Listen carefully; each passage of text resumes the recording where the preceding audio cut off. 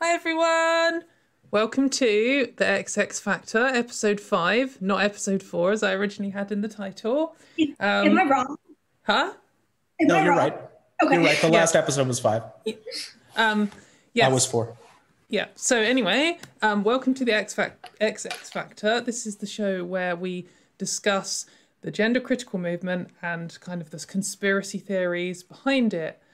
Um, last week we did quite a heavy bit on uh, a certain person in particular who we're going to be talking about again this this episode, and also it's where it touched on I guess, anti Semitism, and there was a lot of very heavy transphobia and there was violence. So, just a warning to everyone this episode is going to be like more of the same.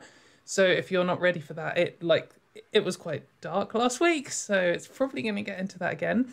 Anyway, as you may have noticed, we have a special guest. So, first, I'll just introduce myself. I am Katy Montgomerie. I am someone who argues on the internet because I'm a dickhead and I'm also a trans woman and I'm a feminist and that's why I'm here. This is my lovely co-host, Christa.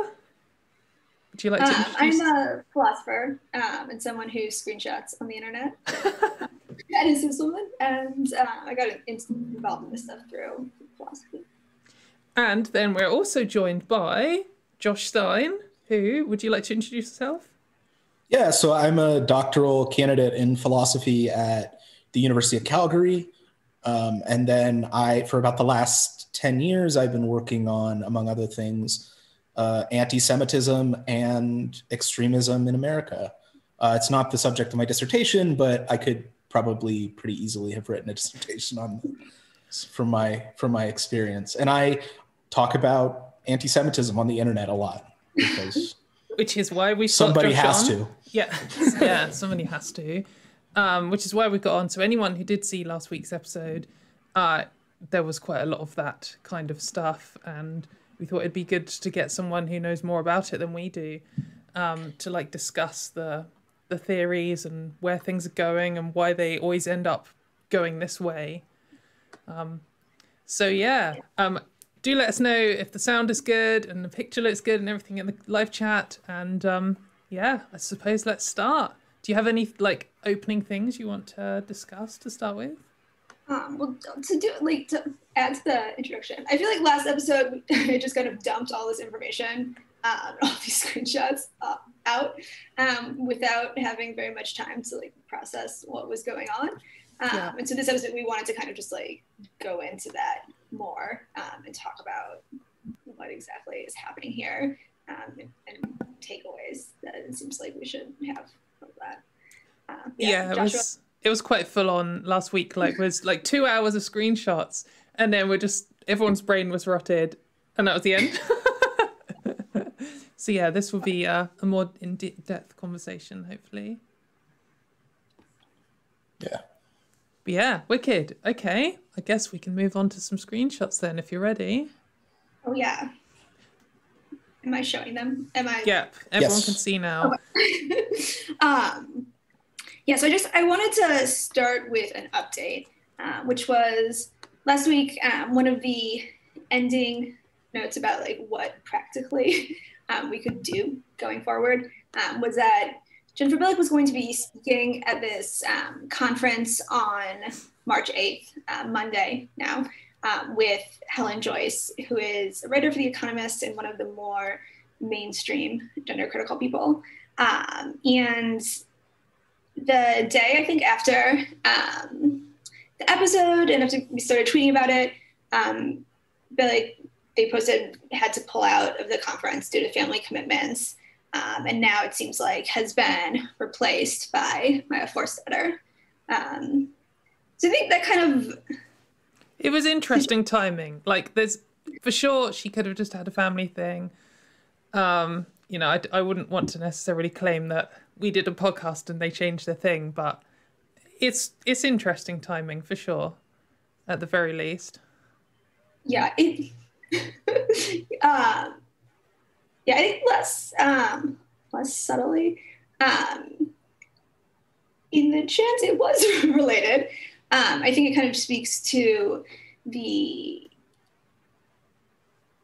like, I think there's a strange kind of parallel between like the and these kind of theories about, in particular, Jewish people have kind of proliferated for a while, and nothing really has happened. Um, but then, seeing like the more explicit stuff, um, maybe causes some movement.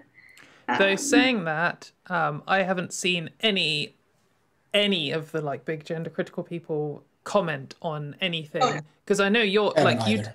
you did a, a big thread on it and that got you know that went round the whole sort of trans Twitter. Um, it, you know everyone's seen it. The, they must be aware of it. There's no way they're not aware of it, and they know how influential she is, and just none of them have spoken of it.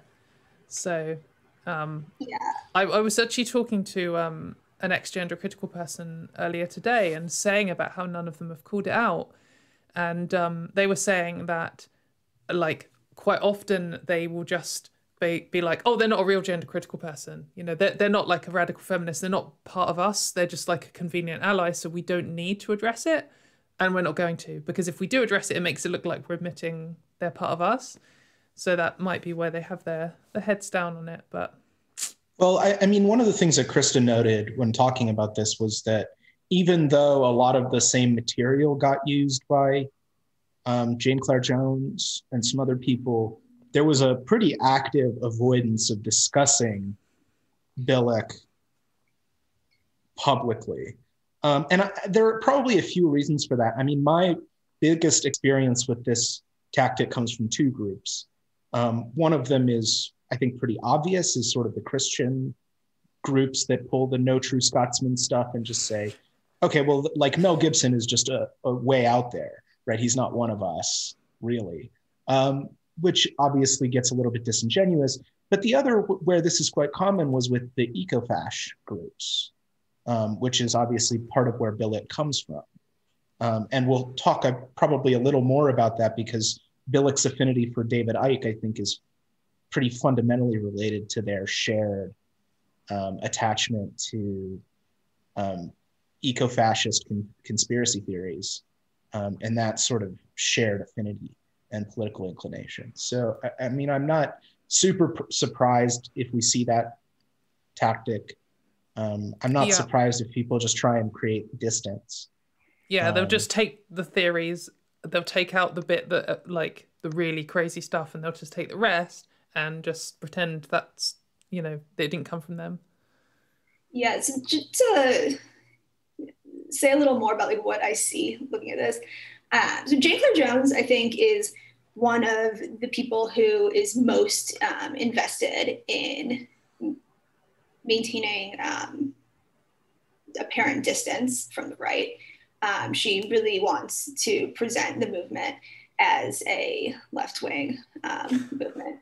Um, and but I see like, looking at her history with stuff is um, a little engagement with Bilek around like 2018.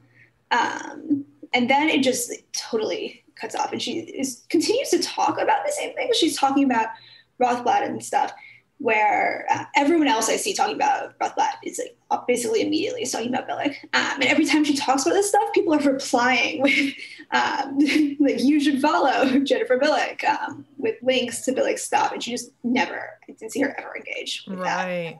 just seems like very um, intentional avoidance, um, which I, I, I would guess that she was not aware of the explicit anti-Semitism stuff, but it was instead like the right-wing stuff where Bilek is um, regularly writing for pretty far-right outlets, um, which As all of the gender critical movement are, including Jane Clare was- Jones, who just wrote for the like Telegraph in the UK, which is a right wing Yeah. paper. But yeah, I think the Federalist is worse than the yeah, yeah, for sure.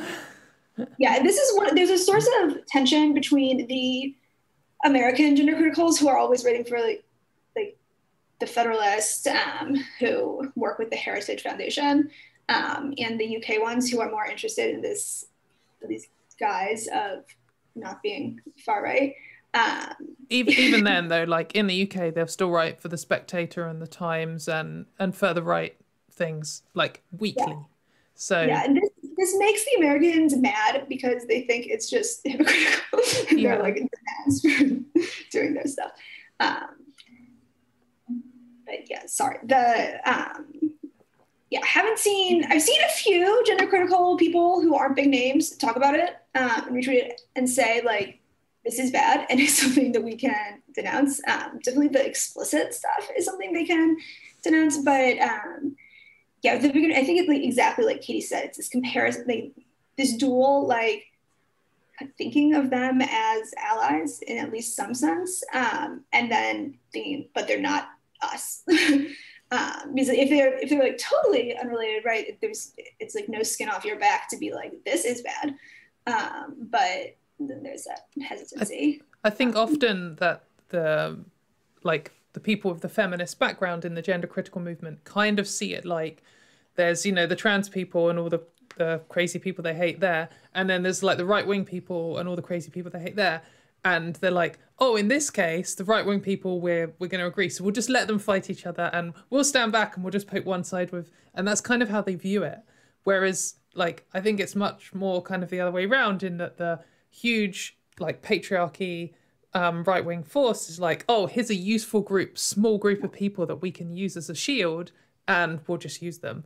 And, you know, I think they feel like the gender critical feminist side thinks they have a lot more control over where this is going than they realistically do. Um, well, yeah. I, I, think a part of it in the US is, um, and Bilek is an American, right? So a lot of this stuff that's going on is in the British context, but but Bilek comes out of this American context where there is a very clear um, sort of spectrum of publications. And we'll, we'll talk a little bit about how these develop over time, but um, sort of moving as you move uh, right from, say, Fox and the New York Post to the Federalist, and then sort of slowly drift further and further into the the right wing uh, nut jobosphere. Um, Good word. These things, these things get, they, well, they, they become um, more explicit. So, I mean, yeah. one of the, th- one of the things that's um, really noteworthy about uh, some of the quite vocal Rothblatt stuff that we'll get into is that um, it trades on a lot of the implicit stereotypes and a lot of the implicit um, norms around uh, anti-Semitism. But then we get into, oh, actually, you're just engaging with a guy with uh, SS bolts driven on drawn on his profile picture, right? Like there, there's a um, there's a convention in neo, and I'll refer to this a few times probably. There's a convention in uh, neo-Nazi circles talk called uh, quote naming the Jew unquote, um, and the idea of that is it has to do with the distinction between people who explicitly um, frame it as a Jewish conspiracy theory, like Keith Woods does, and someone who sort of just um, implies it or just names the particular figures. Right. Right. And so when we talk about um, the pivot, the, the sort of big transition in Bilek that I see is going from oh, it's Rothblatt, oh, it's the transhumanist, oh, it's the liberal elite, something, something, something, um, sort of implicature to, oh, it's Judaism and transhumanism. Right. Yeah. It's and the, that's like, the, where that's the big, the yeah. yeah. Yeah. That's where I, the big move is. Yeah. I think especially it's interesting to type it. So like we start off um, getting big with this Federalist piece she did. Um, and in the Federalist piece, she names a bunch of people, right? So Jennifer Pritzker, George Soros, Martina Rothblatt, we're starting off Jewish, Jewish, Jewish. Um, but then I think not all these people are Jewish. Um, Tim Gill, um, Warren Buffett. It's not Jewish. Buffett's um, not. Yeah. And so you have other people in there, right? It's not, um, in the first instance, exclusively Jewish people. Um, then as we go on and see the things that she is focusing on, um, she's really particularly focused on Stryker, Pritzker, Rothblatt. Uh, so you see that first level of like naming. Um, yeah, these other names I haven't seen come up at all, other than this article. Yeah, right. um, right. I've seen her mention Tim Gill a few times, but she really is focused on these other people. Um, so you see this first level of like going from the list to this particular focus, which happens even in this piece. Um, she names all these people, but then um, she talks most about the Pritzkers and some about Rothblatt. Um, and then you see the kind of heard people call this like soft anti-Semitism, where it's just um, focused on these things that these Jewish people are supposedly doing without calling them being explicit that they're Jewish. Um, yeah. So this is part of how the on ramp works, right? Is is we pick out a particular group of figures to talk about, and there are a handful that are sort of emphasized, and over time, um, people recognize patterns, right? And so people will say, "Oh, isn't it interesting that all of the people who keep coming up in this are Jewish?" Right? And of course, it's not really an accident. Um, it, it's it's certainly true that lots of Jewish people are um, liberal, or when you look at sort of the right wing theories, that lots of the people involved in Israel activism are um, Jewish, right? That that shouldn't really surprise anyone. But it's also usually a feature of the fact that they um, get disproportionate attention um, in these yeah. sorts of articulations, right? So, I mean, the fact that Rothblatt is coming up in this stuff, and I mean, uh, Chris and I, I think, have both talked about this at some length um, on Twitter. Uh, Rothblatt is not a, an especially major figure in the trans rights movement. No, um, like when I've said about Rothblatt, like everyone has been like, "Who?" like all my yeah, trans and, friends and, just and nothing. Nothing Rothblatt says is is especially different from no. um, the, than from the uh, cyborg style Haraway feminists of the of the 80s. So I, I, mean, it's so set that aside, and and you say, well, why are we talking about Rothblatt rather than literally anybody who's involved in funding these sorts of major LGBT charities? And Rothblatt actually is not a big funder. Um, well, there, yeah, that's like, true too. Includes her in these lists with these uh, with these billionaires, um, but Rothblatt's yeah. not. She is rich, but she's not a billionaire, and she's not like a major source of money. And the the main stuff that they pull out to like firmly connect her to the movement um, is activism she was doing in the early '90s, um, rather than actual funding. Yeah, and and I mean, I think I, I think you've even shown some stuff where P- Rothblatt has been referred to as a billionaire, which she's not. Um, that was Jane Clare Jones's.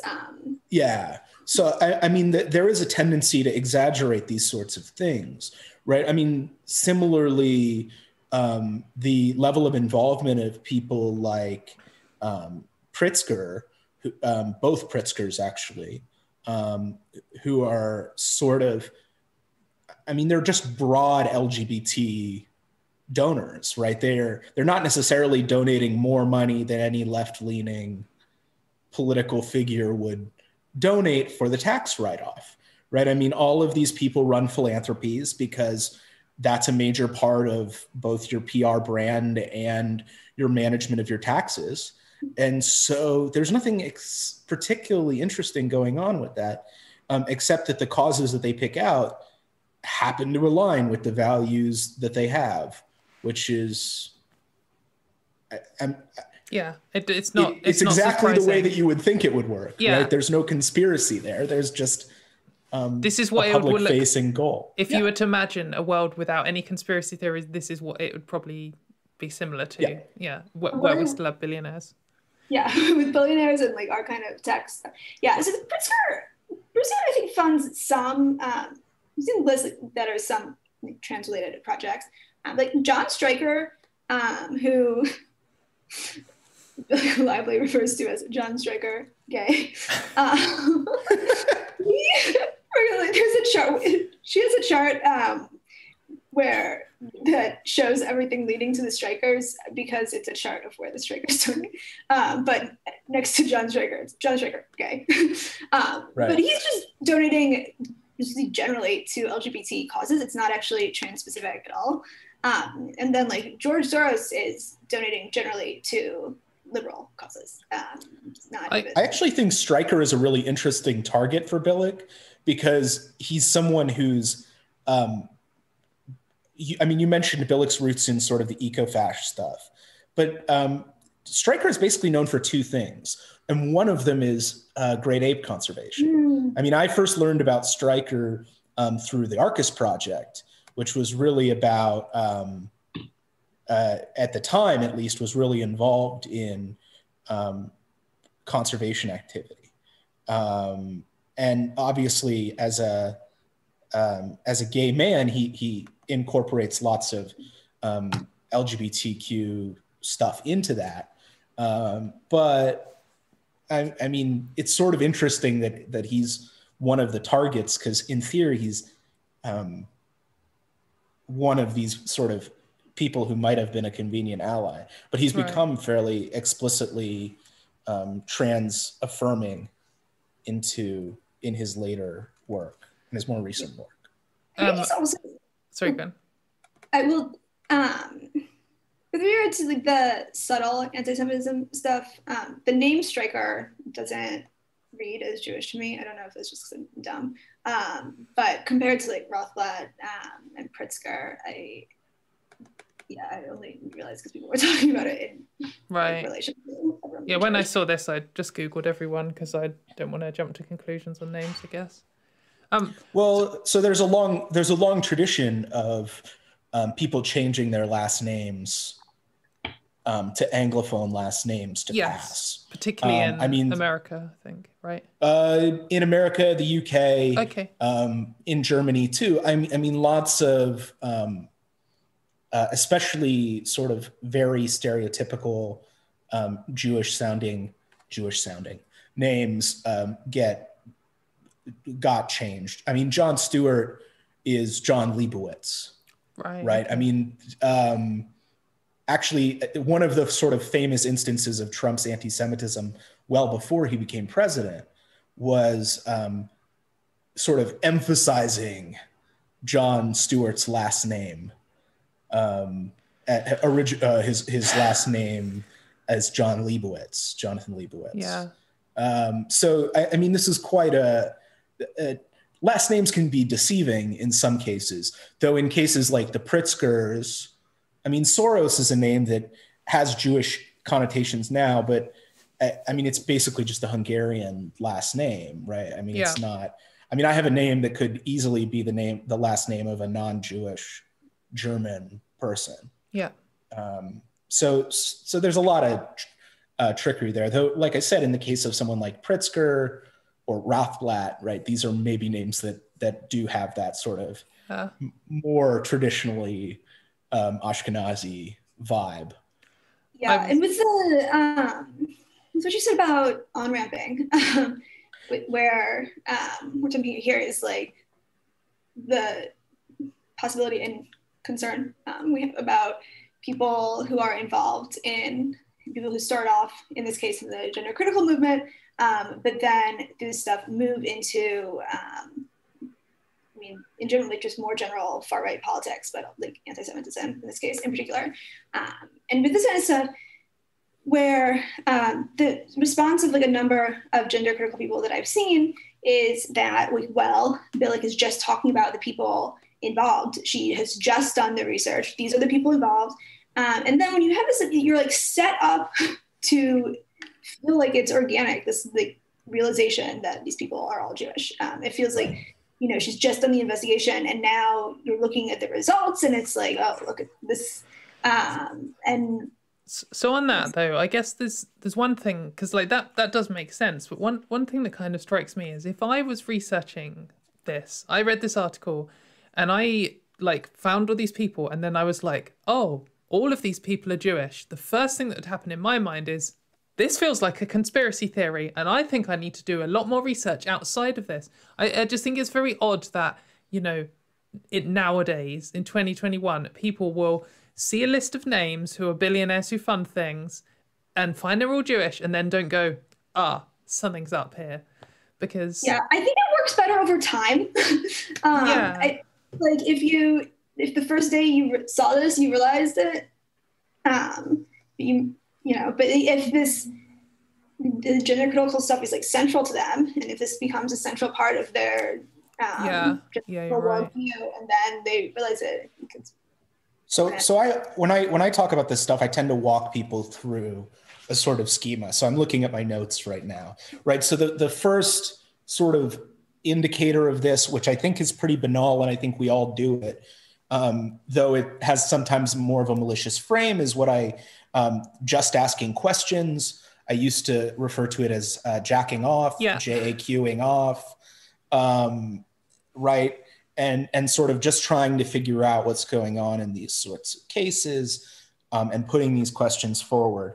Um, then there's usually a transition to sympathetic media outlets, um, usually sympathetic media outlets that have some level of plausible deniability when it comes to anti-Semitism or homophobia or whatever you like. I mean, Fox um, comes to mind. The Federalist is becoming less deny has less deniability now than it used to.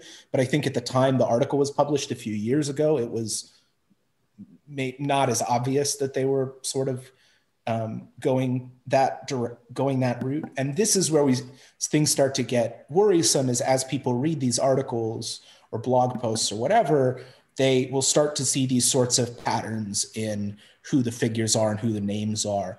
And that's when we get to that's one of the problems with the constant emphasis on Soros, the constant emphasis in this case on Pritzker and Rothblatt, um, and so on, um, or historically, um, both in the UK and US, um, on Roth, the Rothschilds. Um, these are the sort of standard way of um, using the echoes, using the three parentheses um, so that people get uh, um, this this understanding of the pattern, and then at some point you cross the Rubicon into outright explicit anti-Semitic conspiracy theories, um, right? So, so this is sort of the way the, the process tends to work, right? It's not just that like someone reads an article and all of a sudden they're David Duke, right? Like that's just not how it works, right? They sort of recognize these patterns over time. They build yeah. these theories up over time and they um, get them ingrained. And then you'll start to see people posting an image of all of these figures um, superimposed over Stars of David, which yeah. is a thing that happens um, quite frequently, unfortunately. Um, and and that's the sort of the sort of um, process that's used for um, on ramping into outright anti-Semitism. So Oh, sorry again. I, I was just I was going to say well, we've gone on a bit of a tangent. I know you had like an order in your mind. Did you want to go back to the order? Do you want to just say what you're going to say and then go back to order, or you, should we just carry on?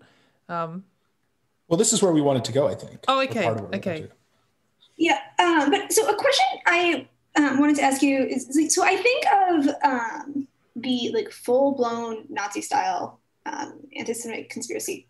It's one that involves like basically all Jewish people. Um, it's like Jewish people in general are conspiring to do this, I think, um, which is, feel like I think is not at that level right now. She's at a level where it's like, um, she's noticed the pattern, um, the pattern, and now is um, the. Though an update from this week, her newest blog post has a, I feel like might be a step in that ah, direction first I guess yeah. re- review. We'll come to that. Yeah. It, this was like the um, the most explicit um, the things we're getting um, when we were talking about things last week, where she had started. Um, she repeatedly shared this Keith Woods post about um, transhuman Judaism. Um, Keith Woods is I, this guy who is like chatting with Richard Spencer um, because their politics are so similar. Um, and this the transhuman Judaism thing. It's a um, it's pretty like meandering um, discussion of like why Jewish people are inclined towards this um, thing rather than like I think it was the full blown Nazi thing, which is like all Jewish people conspiring. Um, is that do you think of that as like a further level, Joshua?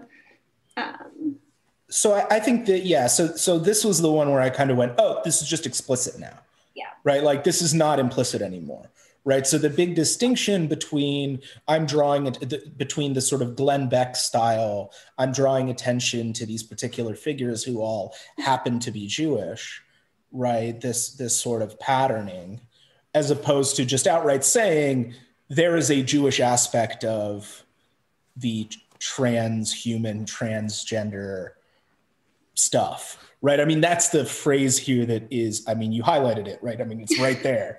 It's, it's, um, and I think that's really important. Um, that there's recently, I mean, Chris and I talked about this um, a little bit beforehand uh, in the pre interview Um, there's a book out, which I will not dignify the author's name, but is like just the straight white supremacist version of this, which draws pretty actively on Bilek. Um, so, I mean, this isn't really implicit anymore. I, I mean, to say that there's a Jewish aspect um, is pretty straightforward. Um, the other thing I'll say here is that when you get into these conspiracy theories, most people will never say all Jews, right? So, so there are always the good ones, right? So the the the if you're on the far right in the United States, you're talking about Ben Shapiro and maybe Jared Kushner and Ivanka Trump, people who you think of as Jewish but still sort of allied. All group, but, they always do that, don't they? They always have a we need the good ones in order to legitimize. We're not like homophobic because so we're not anti-Semitic because we got our homies. Yeah, who yeah. are who are um, cool and we like them, so we don't hate all Jews. Yeah. We just hate the Jews. I mean, so um, the famous remark by Farrakhan, famous American anti-Semite, right, is you know I I I don't hate. I'm not anti-Semite. I'm anti-termite. Right? Is like the I'm not opposed to Jews. I'm opposed to the the Jews who I believe are involved in this these conspiracies. Yeah. Right. That's the language that we get into when we start to talk about these sorts of things. And sort of mutatis mutandis for um, UK anti Semitism. Um, when Miliband was labor leader, there were all sorts of attacks on him that were fairly clearly anti Semitic, but were sort of brushed off as, oh no, there are Jewish Tories, so there can't be um, Tory campaign anti-Semitism. Yeah. That would never happen. Um, the, the, gender criticals always do this. They have their like five yeah. trans people who are gender critical, and then say, right. "Well, we're not transphobic because I like five of you." right. Bilek, interestingly, one of her uh, points of contention with other people in the movement is that her thing is like no good trans woman. Um, she has a piece called like deconstructing the good trans woman. I think um, that's like these people should not be participants in the movement. Um, the, and, and, yeah, to be honest, there is actually a whole strain of gender critical that does that. I mean, even the ones that will publicly support lots of the like good trans ones, um, they'll still be absolutely disgusting to them, even like in a, just a different public forum. Like they'll they'll big them up on Twitter and say, "Oh, I love your work," and then they'll go to Spinster and say, like, "This disgusting man shouldn't be around children," that kind of thing. Right. So, um, yeah, quite um, common. So now I want to come just to mention this um, the explicitly anti-Semitic um, book about the trans lobby. Um, and with, with regard to the on-ramping stuff, um, was this striking post from over at their Reddit replacement um, after they got kicked off Reddit, um, where someone was talking about this book, um, and someone else said that they looked at it and it was very anti-Semitic. Um, and the other person would say, "Oh yeah, but the research is good, and so you can just kind of roll your eyes at those parts." Um, but the book is written to argue that this is a Jewish conspiracy, right? The, the information is chosen to support the thesis, um, and this idea that you can read it for the research and then just dismiss the you're just like drinking up everything but the the main co- like conclusion. I mean, it's not even everything but the main conclusion because it's like just not the words of the main conclusion, right? You believe that there is this conspiracy involving all these particular people, uh, and just start who happen to be Jewish, right? Because mm-hmm. you, you you still keep the names of all of those people, right? You're still gonna the, the the people that you're invoking as the conspirators are still going to be overwhelmingly and disproportionately Jewish right? I mean, it's still going to be Soros and Pritzker yeah, and blah yeah. blah blah, right? It's so it's oh they just happen, right? And and this is one way that certain on ramping gets built, right? The the sort of infrastructure of of on ramping to these outlets get gets built. I mean, one thing that we that that has come up and um, we wanted to talk about a little bit was uh, Bilek's invocation of David Icke, um, who is a pretty transparent anti Semite on a few levels. Um, but uh, I mean, some people have noted that even the, there's a, a really inter- a couple of really interesting articles arguing that the lizard people theory stuff is all actually veiled, um, loose metaphorical anti-Semitism anyway. but um, even if you set that aside, he's a fairly explicit um, anti-Semite, right? He believes that there's a small cabal of Jews who are responsible for orchestrating the First World War and the Second World War, right? I mean, this, these are views that he he has um, quite clearly laid out. I mean, he he also believes that the the protocols of the elders of Zion is true, though he thinks that it's about lizard people and not Jews.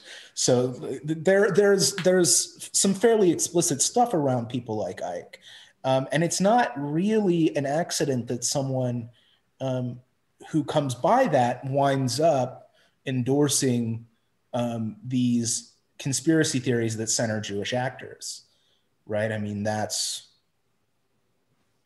a big part of what's going on. Yeah.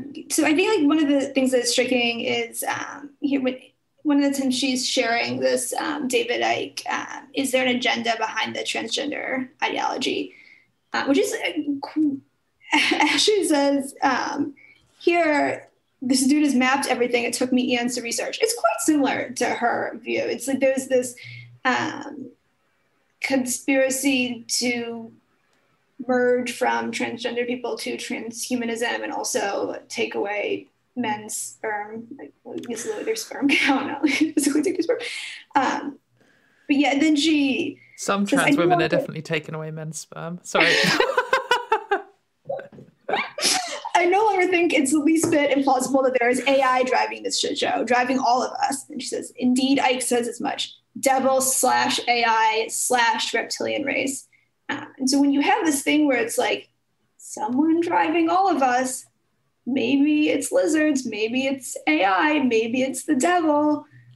we know it's not thing, AI so that, because when Microsoft made an AI, it became anti-Semitic in 24 hours. So, like, well, they, they fed AI. it off the they fed it off the internet, which is yeah, yeah, that's yeah. going to happen.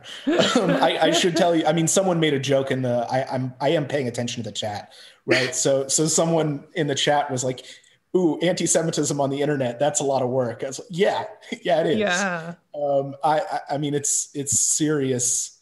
It's serious stuff. I mean, in the case of um, in the case of uh, Icke stuff, um, it, it's not even really that you need the AI or lizard or any of that, right? I mean, Icke is someone who's quite happy to talk openly about um, the quote um, Rothschild Zionist conspiracy, right? I mean, these are like it's a Mad Libs of of conspiracy theories, right? It's it's just every possible permutation that you can get into, um, maybe minus the most um, explicit formulations. Um, yeah. But but Icke is one of those people who has been a major um, major influencer in this movement for at, at least since the early '90s. Um, so I, I, mean, between him and Glenn Beck, you, you have pretty clear framework for what these movements look like in the U.S. and UK. Uh, yeah, and I don't have any examples here I'm seeing, but um, what I saw in these conversations where she was sharing this, is that for many people, um, the lizard thing was a bridge too far. Um, the rest, which is like the conspiracy and stuff, what they were more amenable to. But so then that you just have this blank that something needs to go into. Um, and if I think for many people, like the, the goofy stuff, the goofy ways to fill in the blank, like it's the devil or it's reptilians, isn't plausible. But then if you're looking for like a more human group to put in there um, behind the conspiracy, it's like a yeah. obvious. Yeah. One. So so I mean so so some explicit examples, right? Um, right? Uh, Illuminati and Brotherhood. He says there's a go- global Jewish clique. Uh, who worked with non-Jews to create the First World War, the Russian Revolution, and the Second World War. Yikes. Right. I mean, this is and and actually the the Russian Revolution claim in there might seem innocuous to some people, but the Russian Revolution claim is the backing of the protocols of the Elders of Zion. That's fundamentally what the protocols is about. Um, it was published um, basically to suggest that the Jews created communism um, to overthrow Tsarist Russia. Right. I mean, that's the the fundamental um, sort of underlying element of, of that. And so the fact that he believes the protocols are true is sort of directly tied um, to this, this claim about Jewish manipulation of uh, early 20th century history. Um, so yeah, I, I, mean, these are, these are fairly straightforward. And um, when you have that historical view, right, when you adopt the historical view, all of a sudden you become much more credulous to the um, much more extreme conspiracy theories about the contemporary state, right? So if I think that, well, the you know this small clique of Jews created two world wars, then I'm much more inclined to think that that they're steering legislation in contemporary. Yeah, they've done it before. Trans, they yeah, can do it now. Exactly, yeah, exactly. Um, uh, so on the on ramping note, I'm going back a little, I guess. Um, so this was another thing that happened the day after um, we did the episode where we had talked, and I think this is a coincidence. This is really. Um, we had talked about how Bilek stuff was getting picked up by explicit Nazis, um, like the National Vanguard, um, and then we were like, essentially, if you put like um, Jennifer Pritzker's money, along with other figures like fellow Jew and transsexual Martine Rothblatt, suddenly it's like, the insertion of this one word is like, yeah, right, such obvious Nazi stuff. Um, Julian Vigo, um, who is a writer um, who is on the UK side of things, um, she's on the um, more radical and like but like about the um, kind of like full exclusionary side of things um, she posted this piece um, and in it um, one of the pieces where she normally would have um, linked to Bilek, she instead linked to this National Vanguard piece, which I think is probably a mistake. But um, so I asked if like, anything about this website stood out, and she said something about the Pritzkers being instrumental. Uh, but if you are many people, this is an obvious Nazi website, right? Yeah, look at that like, top quote. yeah, I was going to say the, the tagline at the top. You don't even need to go beyond that top line. Oh, disgusting. Oh, okay. like, toward so, a new consciousness, a new order, a new people. Um, so, so wait, this um, so can you just go back to the other side of the screenshot? Actually, so, just a very, it's just a very old consciousness. So the the article above here that that she posted from, oh, oh is yes. it is that no the Substack one? So who's whose is that? This is hers.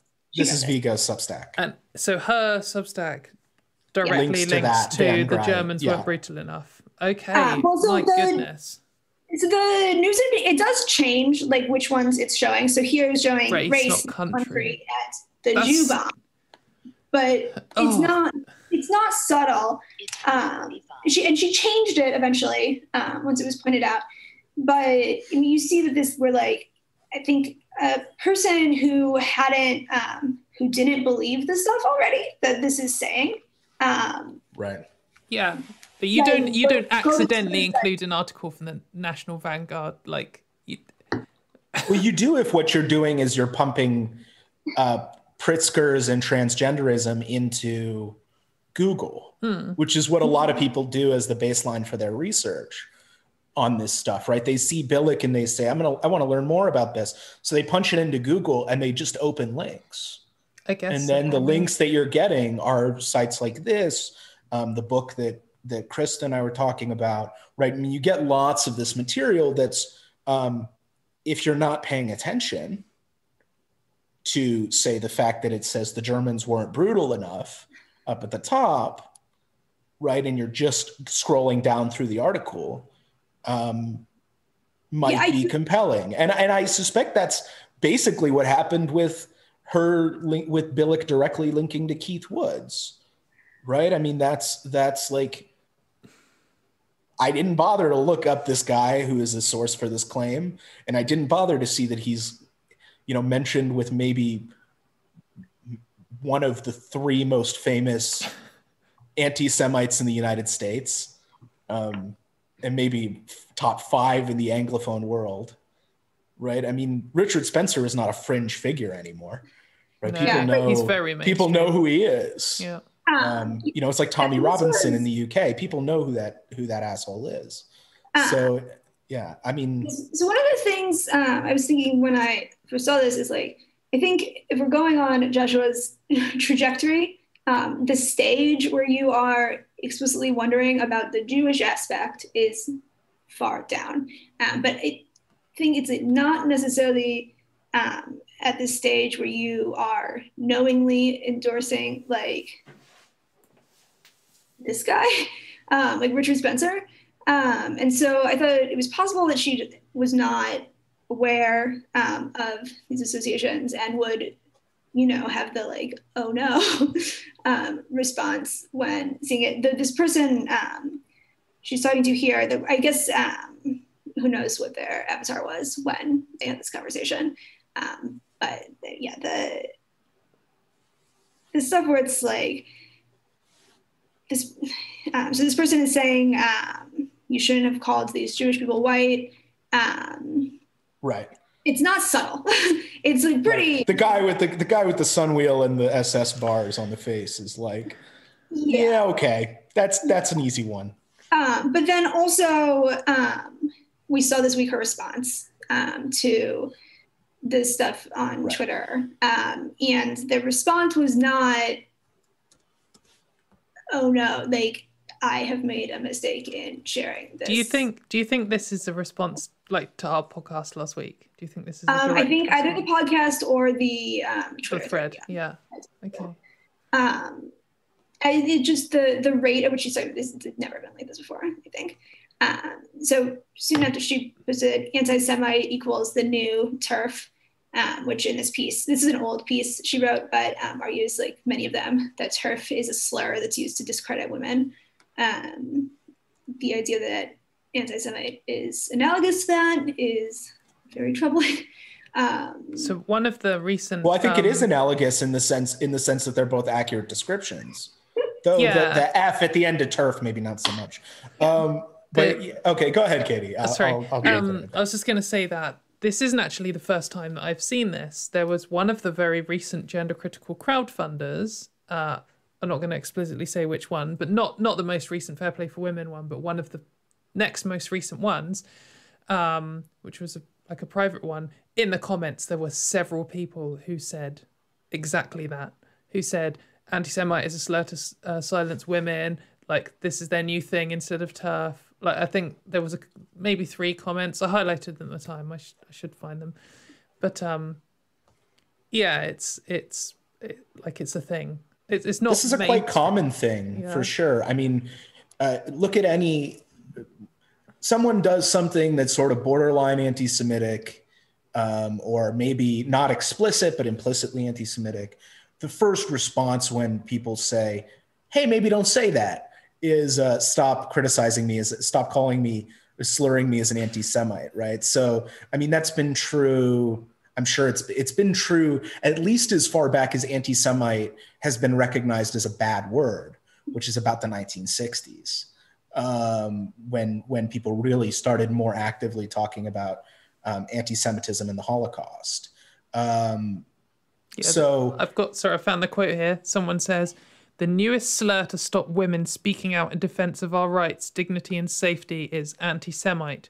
We cannot allow our lives to be trashed in such a way."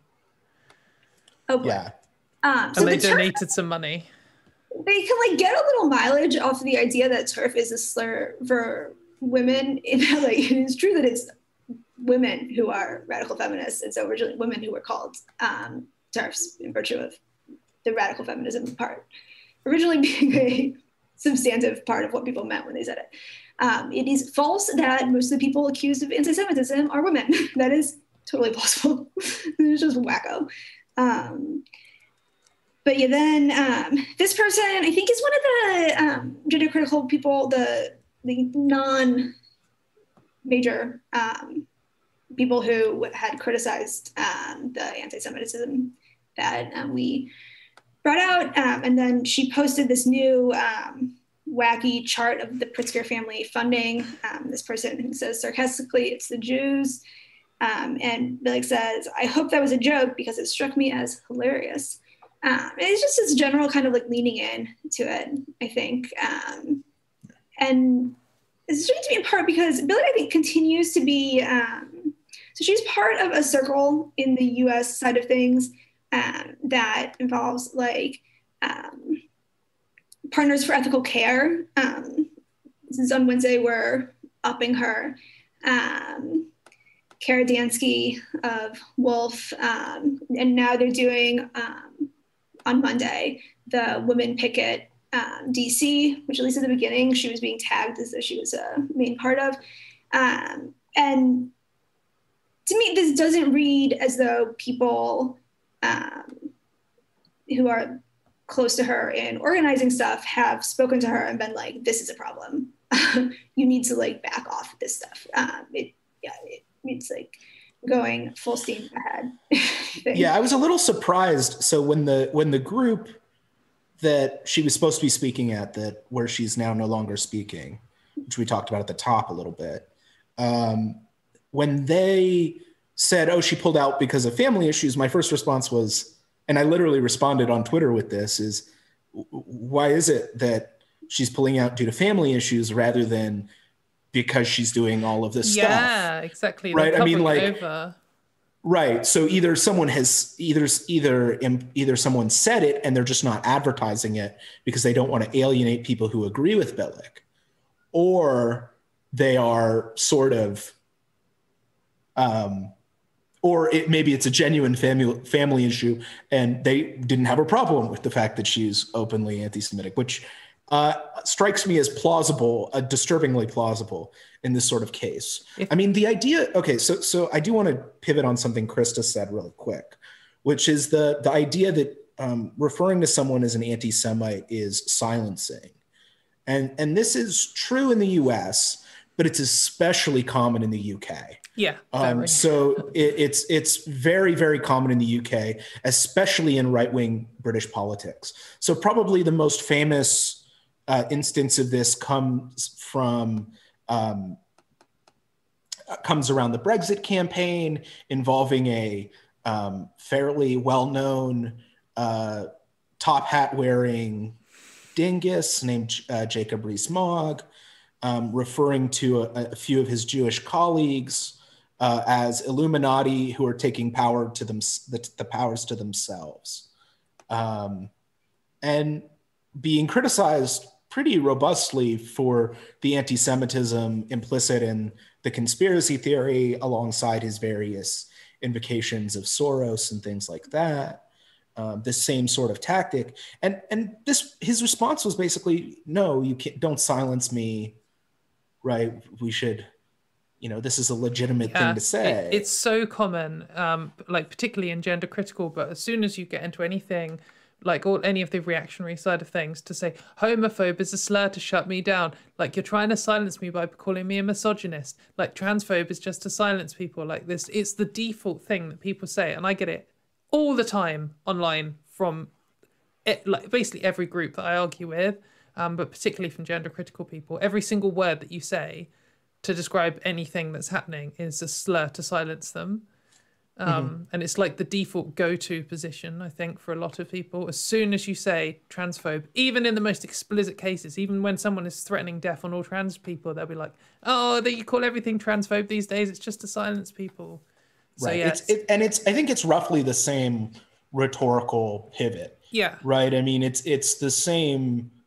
Well, I didn't quite say it the most obvious possible way, just in like the second most obvious possible way. So yeah. you're you're overreacting.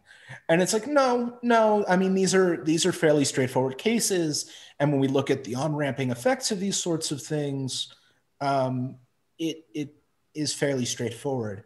I mean one of the one of the things that will come up right and i think we'll see this more and more in the uk um, gender critical movement the gc movement is that there will be more explicit anti Semites involved, right? So, I mean, one of the things that came up recently was the the uh, prospect of uh, protesting outside of um, mm clinics that engage in these sort of gender affirming medical procedures. Yeah, so this is Right, just right. um, the it's the um, what just was talking about is so Partners for Ethical Care, um, which is this organization I was just talking about that has been um, continuing to boost Bilek. Um, they are one of these um, U.S. organizations that's in this kind of um, Kara Dansky, Joey Bright, Jennifer Bilek sphere, um, to my eye, um, and they have posted this release. Um, oh, where the contact is actually Joey Bright. So they've posted this release that then um, Emma Harriet Nicholson has shared about how they're planning to protest um, outside of gender clinics. Um, Which is the- same tactic lifted from the anti-abortion people protesting Famous. outside of yeah yeah. I think I think one like uh, so discussing this where they have similar tactics to like the anti-abortion people and also discussing how people say anti-Semite is a slur to silence me or a way of silencing me like it kind of links into this thing that I often point out about like talking the root of transphobia onwards to anti-Semitism and other things is when I say like transphobia rots your brain, and I often think that it teaches you when when you enter a, a new debate and you you have taken up the like transphobic side of things, and everyone around you says transphobe is a slur to silence you. It's okay when anyone says transphobe, you can just ignore it and you can just tell them they're silencing you. And once you learn that pattern of defense, when you see the same thing happening in another sphere, you see someone arguing with an anti Semite, and the anti Semite says, Anti Semite is a slur to silence me. You're like, I recognize that pattern. My brain has already learnt how to Right, use this defense. So I, that it instantly makes you take the side of the person who's using the same strategies as you. And then, so you're just much more likely to, when you don't know what's going on, you see two people arguing. One of them says, You're sil- silencing me with a slur, and the other one says, You're a bigot. Then you just take the side of the bigot. And it's the same with this. Like, once you're already used to the idea of protesting outside Planned Parenthood because they help trans kids, then you know the idea that people are protesting outside for abortion at least you're you're not going to you're not going to start supporting bans of protesters outside abortion clinics because you're like well if they ban them they'll ban us so we should all be allowed to protest and then you know Right. it, you start making excuses for people and you end up backing people up even if you don't necessarily agree with their positions Yeah. So I, I mean, the I have a lot of experience with the anti-abortion movement and um, in the U.S. and the hopefully against it. Yeah. Um yeah. And um look eh, they have a, a lot of this tie-in to the right-wing anti-semitism sphere um, that that sort of tracks i think fairly closely with this. I have a slideshow which i won't go into here because frankly I, I'm looking at the comments in, in the sidebar and, and I don't want to distress people more than they already have. But, you know, they, they, they have conspiracy theories about how um, Soros and the Rothschilds are harvesting embryos to, um, you know, develop a pattern towards immortality, right? So that should sound familiar based on Bilek. Um, similarly, you know, that they tend to correlate very closely with um, the cultural conservative environment of the US, which is white and evangelical um, largely, um, that has fairly explicit racist and anti Semitic overtones. Um, that going back to at least the late 19th century, um, but certainly picked up more actively um, during the Nixon years and eventually the Reagan years. So, I, I mean, I think that this is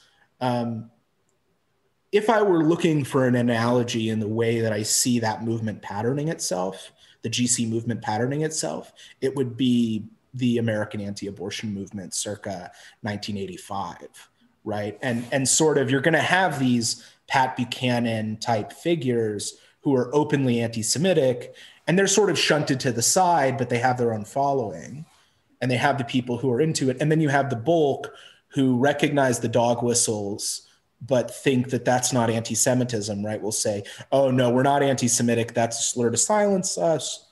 Um, you know, we're not like those fringe guys over there, like the Buchanans and the John Birchers and all that stuff, right? We're like, um, you know we're the reasonable advocates even though they're engaged in the same tropes and they're actively on ramping people towards that neo-nazi side of the movement um, that white supremacist side of the movement yes i think joshua was uh, referring to this kind of one of the things we see um, with Bilek are these accusations of um, very serious kind of towards children in particular. Um, what she's referring to is um, well, adolescents really um, getting trans health care. Um, but then she's saying children are being used as pawns in a huge eugenics experiment. Um, they're driving this into grade schools, get the next generation hooked young. They'll go like lambs to the slaughter. Um, it's a eugenics experiment. Children are the fodder. Um, you see, this is like um, standard gender critical rhetoric talking about trans healthcare being eugenics or Nazis or something like that's. I, I see that every single day from rank and file people. So that's that's yeah, obviously a more acceptable idea. And if you're like me and you grew up in the U.S. Um, when pre-gay marriage, right? You remember this talk about child predation and the relation between um, gay rights and you know sexual abuse. Yeah. Um, and, and so that same historically, in same in the UK, I'm sure. Um, so those sorts of things developed in a very, very particular way. Um, in those cases, people also should keep in mind that there was an anti Semitic conspiracy backing for a lot of that also on the far right. So when I mentioned Pat Buchanan or Elizabeth Dilling, right, it was that same sort of thing. It was, um, we talk about the quote, culture wars, unquote.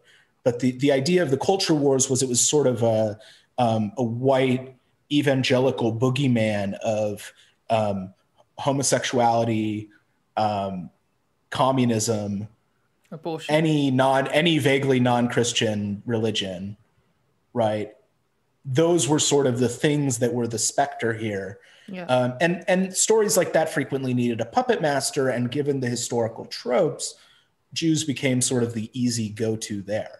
Um, that was true during the red scare in the 50s i mean henry ford in the 1920s was saying that the Jews invented jazz to corrupt the minds of young white children. I heard that. and as and as much as I would like to uh, take, I would like my people to be able to take credit. Um, black people invented jazz. That's they get that one. So, um, but that was the sort of thing, right? I mean, this idea of child predation as sort of and corrupting the young uh, and destroying the young as sort of a, a way of talking about um,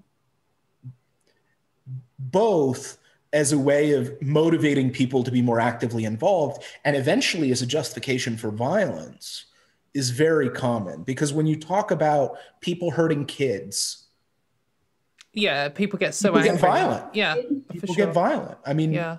it's that's just how it is. I mean and i'm sure all of us have had those sorts of visceral reactions when we see stories about you know child abuse or child sexual abuse or anything like that right the immediate reactions are maybe uh, not the are not the most tame right they can be visceral and yeah. angry and and justifiably and so when you hear this sort of language you think okay now they're setting up a pretext for bombing something or yeah or someone. getting violent uh, and, or, and even obvious, just arresting people i think sometimes like you know they want to yeah.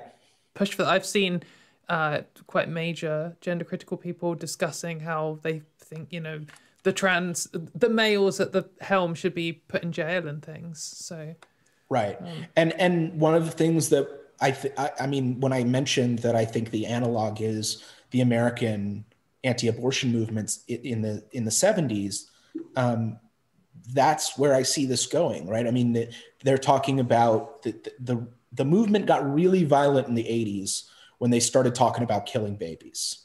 When the rhetoric pivoted from the technical term abortion or the naming of the procedures to talking yeah. about killing babies, things got bloody fast. They've like in gender critical, they they've completely or you know dropped any kind of pretense of science, and it's always about mutilating children or right. sterilizing children, or, right. or usually both. Um, and you know it's a way of like separating out, making it more like a sound more like a crazy evil process that you couldn't possibly object to. Obviously, no one wants to mutilate children, no one wants to kill babies, and that just isn't what's happening. So, right, yeah, Yeah. Yeah. think- So, yeah, So I think that's a kind of two classic anti-Semitic conspiracies that seem like they're kind of at play in some of the stuff you said, Joshua. Uh, one of them being just like the blood libel one, where it's like Jewish people are killing um, children to make matzah. Um, and that, and with this, it's like it's just a really effective um, way of making them like not human anymore. Like Katy said, like no one wants to hurt children. Um, and so then when we're hearing that these people are butchering children, um, it's like, what is happening here? Um, you start going down this weird route. Um, and, and and they are, they always ask me the like the question. They're like, so, "Katy, do you support mutilating children?" And like, and then I'll start. You know, I'll say, "Well, obviously, trans healthcare isn't mutilation. It's completely ridiculous." And they're like, "Yes or no?" And like, well, no, I don't support mutilating children, but I support trans healthcare because they're completely right, because they're not the same thing. polar opposite concepts. So Right. fuck off. yeah. So I, I mean, the the blood libel stuff is really tricky because there's a long history of it and it has a bunch of different forms, right? So the the classic version is sort of um, kidnapping and ritual murder, right? This is the the version that comes about in the 17th century, um, probably earlier, but we have a bunch of recorded cases in the 17th century.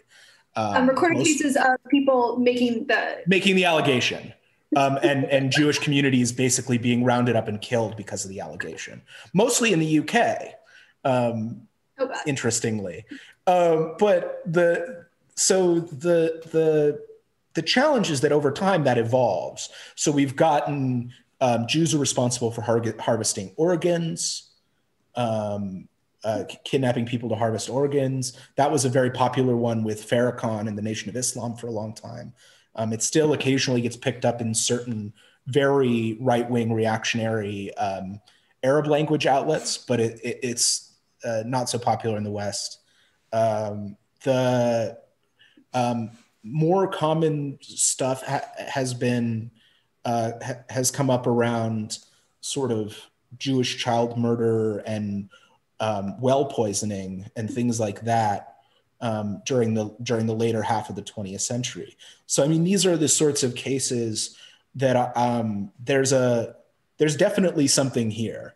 And again, this is an area where um, we'll see a lot of emphasis on Jewish doctors, right? Where you'll see the patterning there become very clear. And in a lot of those cases, you know, it's not so surprising. I mean, J- Jewish people, like uh, South Asian people, disproportionately go into medical fields, um, go go in at a higher at a higher rate than their white counterparts, and um, so it's not that surprising that there are more of them there. Uh, also, the ones who go to medical school tend to be more liberal, right? And so they tend to be um, more in, inclined to participate in um, LGBTQ affirming care. When when Right. one half of the political spectrum uh, thinks that you're coming after children, and the other half is listening and saying anti-Semitism is bad, like which way do you think most Jewish people are going to go? I, like, I always I always think this when they say like, oh, LGBT people are all crazy leftist. Like there must be something, there must be a mental illness or something. Like the left is all. It's like, well, maybe it's because your side of the political spectrum hmm. makes life hard for them, and if you didn't, then it would be an even split. Yeah. Like it's just such a, a like if I looked and I thought, oh, my side of the political spectrum has almost no people of type X, then maybe it's not good for them. I don't know. Just like think about it. It's so ridiculous. Yeah, I mean, it's it's. Um, I'm not going to speak for the black community, obviously, but I mean, lots of people will point out. You say, well, why why are black people Democrat overwhelmingly Democrats in the United States? Well, partly because they're the party that doesn't have issues with constantly saying racist stuff. Or less issues. right? Fewer yeah yeah yeah. Not so bad. Um, but so similarly i mean uh, uh, people talk about um, jews in in the tory party in the uk right? I mean there's a reason why a lot of jewish left the tory party in the uk i mean it, similar uh, there were obviously problems with corbyn um, but preceding corbyn the, the labor party had a jewish leader right? Um, I, which has not been super common in the UK. Um, it's it's very rare in the U.S. though. Uh, it happens to be the case for the Democrats at the moment. Um, but I, I, mean, yeah, it, it, it is true that just on a on a statistical level, these things tend to break down pretty straightforwardly, where minorities move to the area where they're least likely to face hostility. Um, yeah, for good, for obviously good reason. Yeah, yeah. I mean that's yeah. Uh, it's, it's the we're, we're over, but yeah. To, um, a second, the I think like a second classic anti-Jewish conspiracy that's here um, is this like idea that um, Jewish people are trying to undermine society um, and they destabilize whatever makes the society work in order to advance something. Um, and the what we get from Bilek um, is very much these accusations of destabilizing all of society, um, leading to this kind of social apocalypse. Um,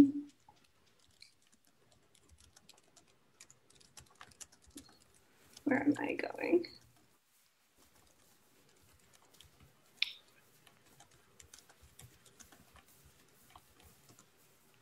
Ah, yeah. Uh, this has zero to do with identity. It is quickly going to destabilize civilization.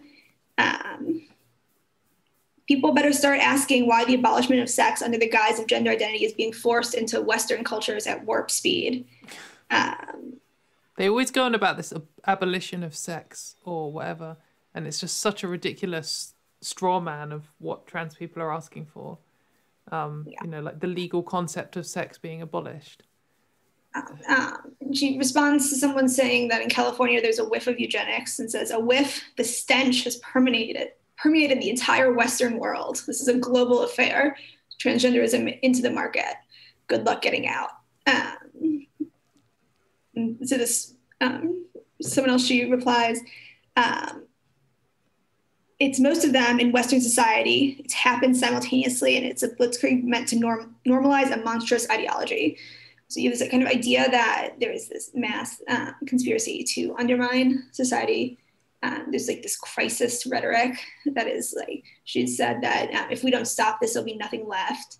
Um, overall, like, I think a lot of things that we see from um, like the logic of extreme anti-Semitism, where it's Jewish people as this existential threat to society um, that are kind of like toxic um, and that need to be like pushed out lest society be undermined.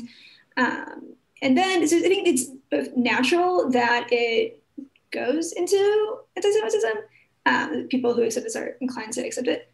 It's also worth emphasizing that if we have a ideology here um, that is that has the same logic as anti-Semitism, but doesn't come home to roost on Jewish people, and instead just comes down to trans people, it remains extremely concerning. The yeah. the way anti-Semitism works is dark and very scary. Um, I think my sense is that like with Bilek, um, her stance towards trans people, I think, is eliminationist. It's not at this point genocidal in that um, she does not think of like, the key element I think is missing is that um, she doesn't conceive this as a intrinsic feature of trans people. Um, so the path forward to this thing that she um, presents as something that like society needs to be rid of is not allowing people to um, transition anymore. Um, we have this article um, where she says, like the argument is that people should be able to make up their own minds. And she says, but why? why should they do it when these changes come at great cost to society? Um, so you have this kind of picture that is it's not what, only what's, what cost to society is she proposing? Um, so the problem she says is that um, other people want to live in a world that's ordered to the natural. Um, oh, I see. Okay, yeah, the nature argument. Boundaries that um, attempt to deconstruct the boundaries that make us as sexually dimorphic um, species. Interestingly, um, she mentions other people are focused on um, sort of the danger to women. She says danger is a secondary, though not inconsequential issue. Boundaries are important for structure over chaos, for privacy, for safety, and for wholeness. Why is respect for the boundary of sex being eroded and coded into law? So it's it's full on like it's it's pretty much one step away from going against God's plan. Like Yeah, so so I want to pick up on one thing that Christa said here, right, which is that it's not quite full eugenics. Yeah. Because I actually think this this is one of the areas that's a little trickier. Um, there is a, a sort of standard definition of eugenics of packing people in cattle cars and that kind of stuff.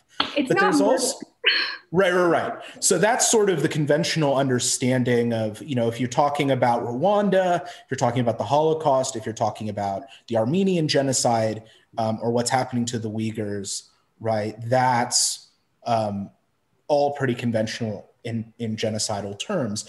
But there's also genocide by cultural obliteration, right? So um, morally ideas- mandating trans people out of existence. yes. Right. So when we when we talk, I mean, I'm living in Canada right now. In Canada, one of the most ongoing points of discussion is over the role of um, the residential school system, um, which was basically an attempt to remove indi- indigenous culture, an intentional attempt to remove indigenous culture completely by taking kids out of indigenous communities and teaching them in um, white schooling environments. Now, these were also environments endemic with abuse and death, and there was lots of murdering and stuff going on there too.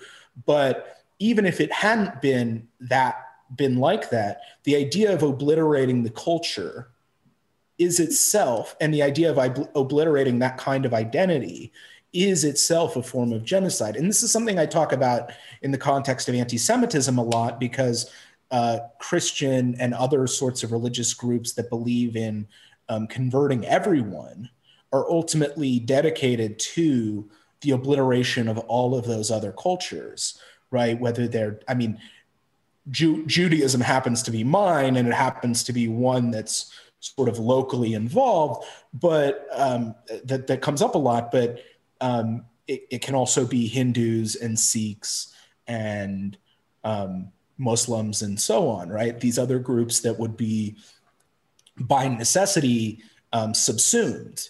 And so I think that that when we talk about what Bilek is doing, at the very least, what she's talking about is um, making it the case that there are no trans people Yeah. Right? So I, I mean that even if we're not going to talk about it in the sort of mass murder mode of genocide of a Rwanda or a Cambodia, So though I do have worries that she is kind of looking in that direction sometimes. Yeah, the, I mean, the problem, right, is that like if the key thing you're missing is um, you have the like level where it's like these people are toxic to society, they're an existential threat, um, but you don't have the piece that's like they are essentially like this. Um, it's like, and instead you're going like the forced assimilationist route, but it's a feature of people that in fact is persistent of them. It's scary, but so it's not. It makes it like not on its face. Right. one But murders. It's like where are we going? One difference is that um, most people believe that you know, like being Jewish is something inherent. I guess uh, certainly Yeah. like being Jewish Right. um, genetically, uh, whereas pretty key to the gender critical movement is the fact that being trans isn't. Like it's a social disease. It's something you can catch. It isn't inherent to people. So I guess that's that divides. Well, this is sort of an interesting analog, actually, because in a lot of the Christian supremacist circles, right, the idea of active conversion of all the um, of Jewish people or indigenous people, whatever, is the idea that while the the quote racial unquote identity might be um, intrinsic, the religious identity isn't. right. Yeah, for and sure. so that can actually be um, Eradicated. destroyed. Yeah. Yeah, and and that's sort of that's one of the areas where we get into this.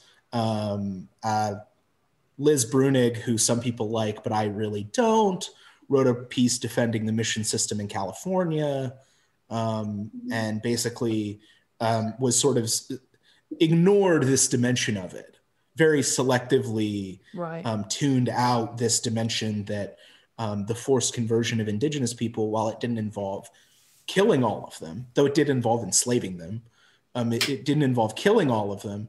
It did involve destroying their culture, right? It, it so I mean, in in that sense, it, there is this attempt to separate out certain parts of um, certain parts of identity which um, individuals don't view as um, changeable, right? Yeah. I mean, I don't think being Jewish is really something I can change.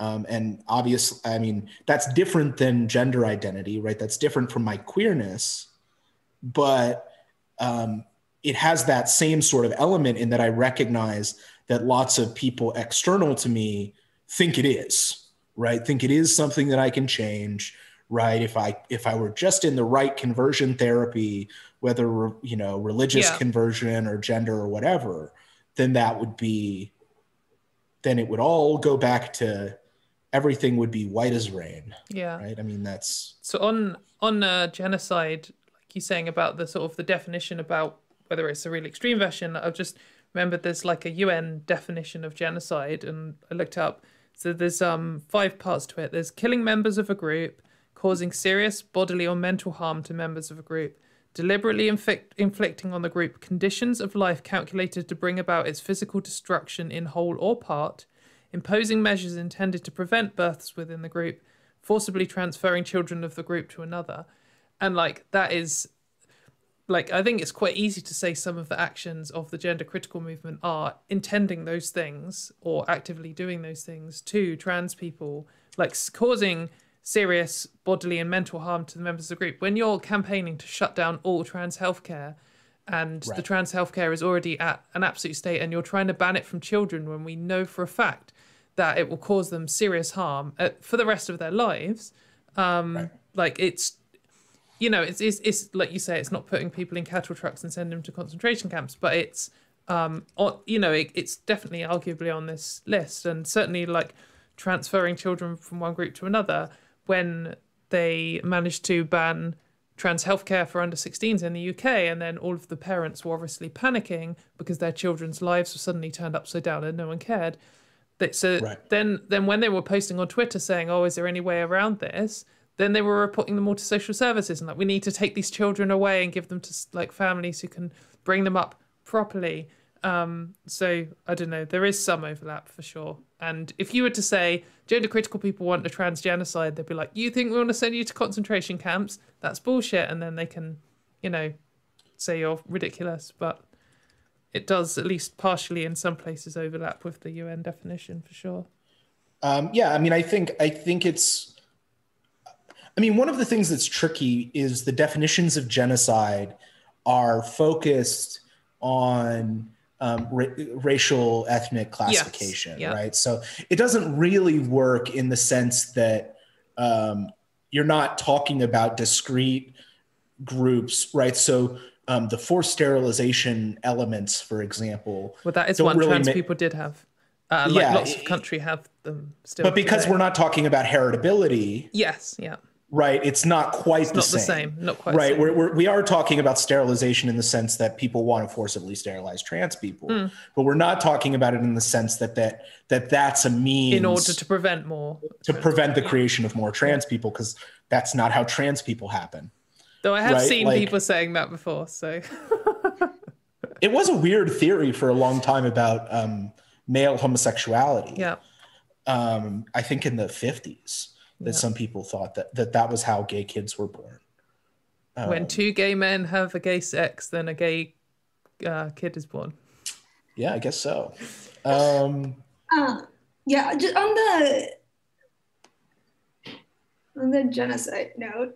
Uh, Yay! yeah, I introduced that a little wrong bit. yeah, I guess something like, I think is important about um, like, and I also want to like this is obviously like very scary. Um, and I think there is it's worth distinguishing between like uh, an ideology being the kind of one that if it um, became like enforced would be like, very serious um, and it being like we have the cultural conditions that that is likely to happen which like I, I, the what has been in, implemented in the uk is very disturbing i think if we look at these policies um, like in, in general we're like what are they doing it's just control of trans people right it's like Yeah. just forcing trans people to i mean the, the census thing if, if we're like what is the goal of this why why is it so important to them that trans people mark um, like their birth sex on their which they never will. It will Uh, never happen. There's no way yeah. they could change it to do that. But yeah, when they can get the data with either um, it's just like a degradation control thing It- it's And, like, asserting dominance. That's what this whole thing is. We can raise loads of money. We can sue the government and make them change the law just to make trans people's lives worse, which is what they just did with this changing the standard gender neutral language to explicitly gendered language just to exclude trans men. No one gained any, literally, no one benefited at all in any way. And trans men didn't even lose out that much because we're never going to have a trans politician in the UK anyway, and it only affected them, and so on. But it was an assertion of dominance. It was saying, we have the power to change the laws to make things harder for you, uh, like, and no one gains anything. So I think it's, um, yeah, quite important for them to do that. I think assertion of dominance and just like infliction of pain, Yeah, right? They, yeah. um, It's malicious on purpose, really. Yeah. um, yeah, but I think, um, but like, d- her ideology is extreme among um, the gender critical people, especially in that um, the no good trans women thing um, is Right. extreme, and and the because the mainstream position is that trans women um, should have to constantly live um, in ways where they are telling people they're They want men. what they have in Hungary. They just want you to have like a marker so that everyone knows you're trans at all times, and then you want to be forbidden from spaces you need to live. That's- yeah, the that's history of, mainstream. of, of those sorts of markers is well, maybe like this one. yeah yeah yeah. Um, so Um, I, I mean, can I read this? The um, Yeah, yeah. this is the last of the disturbing Bilek tweets this week. Um, she says, "I do believe that big pharma handmaiden stars should be supplied to all people who discuss gender identity while ignoring the corporatism behind it. Any design suggestions?" And someone says, "A star with a Lupron symbol." I don't think that is a symbol, um, but the yeah, I was like, what? What do you mean the chemical symbol? Everyone's going to recognize the chemical symbol for Lupron. I don't think so. But Yeah, yeah, uh, so so I guess I was just going to say handmaiden generally in gender critical speech means cis women who don't oppose trans rights. But here, I guess it's big pharma handmaidens, which is it's probably what she means. Um, it uh, weird to pick women in particular, but most people who support trans rights are women. So yeah, this is I- I, I tried to read this as like I was like when I saw this I was like this is like a Nazi thing. And I tried to I was like can I read this as like a sarcastic you should give them gold stars and my conclusion was no I cannot. no, I, I- think it's quite Design, explicit. design suggestions it's just like it's yeah right. It it it doesn't. It, it fails the the the ability to be charitably interpreted as not wildly bigoted. Yeah, Right. It's just it. You you can look for those charitable interpretations, but I don't think you can f- find any that are plausible. Yeah. I mean, the yeah, the Or at least I can't. the classic like outright thing to do is say something that's obviously racist, but has another interpretation that arguably they could have said. But either this has failed or this isn't tried to do that. yeah Well, someone, wa- someone was asking me. Uh, I, I I think uh, Christa and and I have talked about this because Christa's in Phil language and things like that. Um, there's a very there's a famous, really excellent article on dog whistles by Jennifer Saul, who's a British philosopher. And um, one of the points that um, comes up in a lot of these discussions is that dog whistles have to change a lot over time, especially when you have like super saturated environments Yeah, because you lose the plausible deniability. That's the whole point of having the dog whistle in the first place. So, so that's something I, I actually asked on Twitter today, and it's interesting you bring it up. So there was a new one today, which was super straight and super gay. I yeah, don't know if you oh saw yeah, that. yeah. This is the context. absolute joke. Yeah. Um, and it th- they're trying to conjure up some way of saying I'm not attracted to trans people, um, which which is a ridiculous claim. It's like saying I'm not attracted to left-handed people. But Right. um, like I was saying, like why do they why they have so many dog whistles? Why do they need another one? Like what's the? But I guess it's because, like, they you know people start learning them. Yeah. They start and, Well, and, and- can move on. and uh, our mutual friend Veronica Ivy, I think, made the same point that I did, which is, yeah, I mean, if you say the same thing over and over and over again, um, and there's lots of public discussion about whether or not what you said was bigoted, eventually the public is going to pick up on this. So the, the example that I often use when I talk to people is the Soros stuff, which is still in, in wide circulation, especially on the right in both the US and UK. But um, when it started, it was a really, really effective dog whistle. When Glenn Beck was on Fox News and he was doing this stuff in the in the late aughts, um, it was it really worked.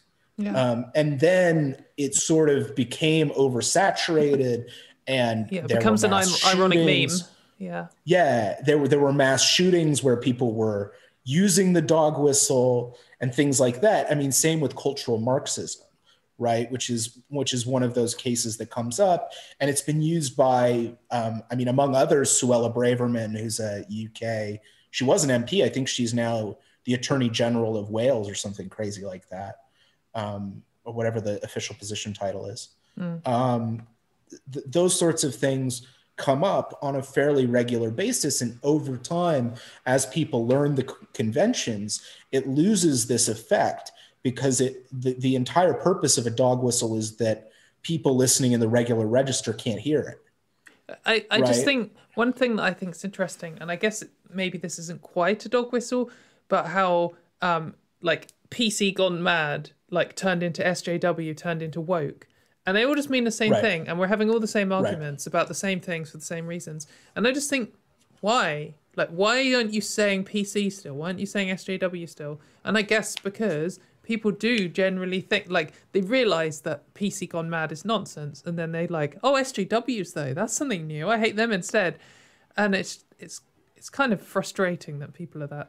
Right. dim. But and it's all just code for why can't i say the n word more often yeah, yeah, right exactly. like and and and keep my job right i mean these are the the reality for for that sort of conversation is that like you said the terminology has changed but the content is exactly the same right and the the the sort of rebrand of gender critical is i think going to that's absolutely one. Yeah, it's going to go the same way, right? It's it's um, and gonna- we saw it in the U.S. with the far right. They had to go from, um, you know, they had to go from uh, nationalist, right, from ethno nationalist to alt right to whatever. You know, there now there are a Yeah. handful of terms that are sort of competing for that. I think Um, I though think- some people are trying to bring nationalist, just general nationalist back. I think Um, that like- um, the schism for gender critical has begun. Um, I think it started last year. I think I, I don't know. I want to say it might be this year, but it might be next year. It- it's like this is the year that I think America and the like reactionary right in America gets involved in like gender critical language, and it's when it will hit the super mainstream, um, which is scary. But I, I know that already there are like the radical feminist side of gender critical is already starting to disown the label gender critical because it associates you with people like Posie Parker and um, you know Jennifer Bilek and stuff who fall under this gender critical label and who just aren't feminists. Um, right. And so the you know the the original like the true turfs as I might call them who got rid of the label turf, created a new label, brought in a load of reactionary idiots, and they're now trying to leave it. They'll be the first, but there'll be other people because you know as people start learning that gender critical is garbage, um, yeah, they'll just have to leave it and they'll have to come up with a new term. So we can. Yeah, I mean, I, I don't sex know what the trajectory.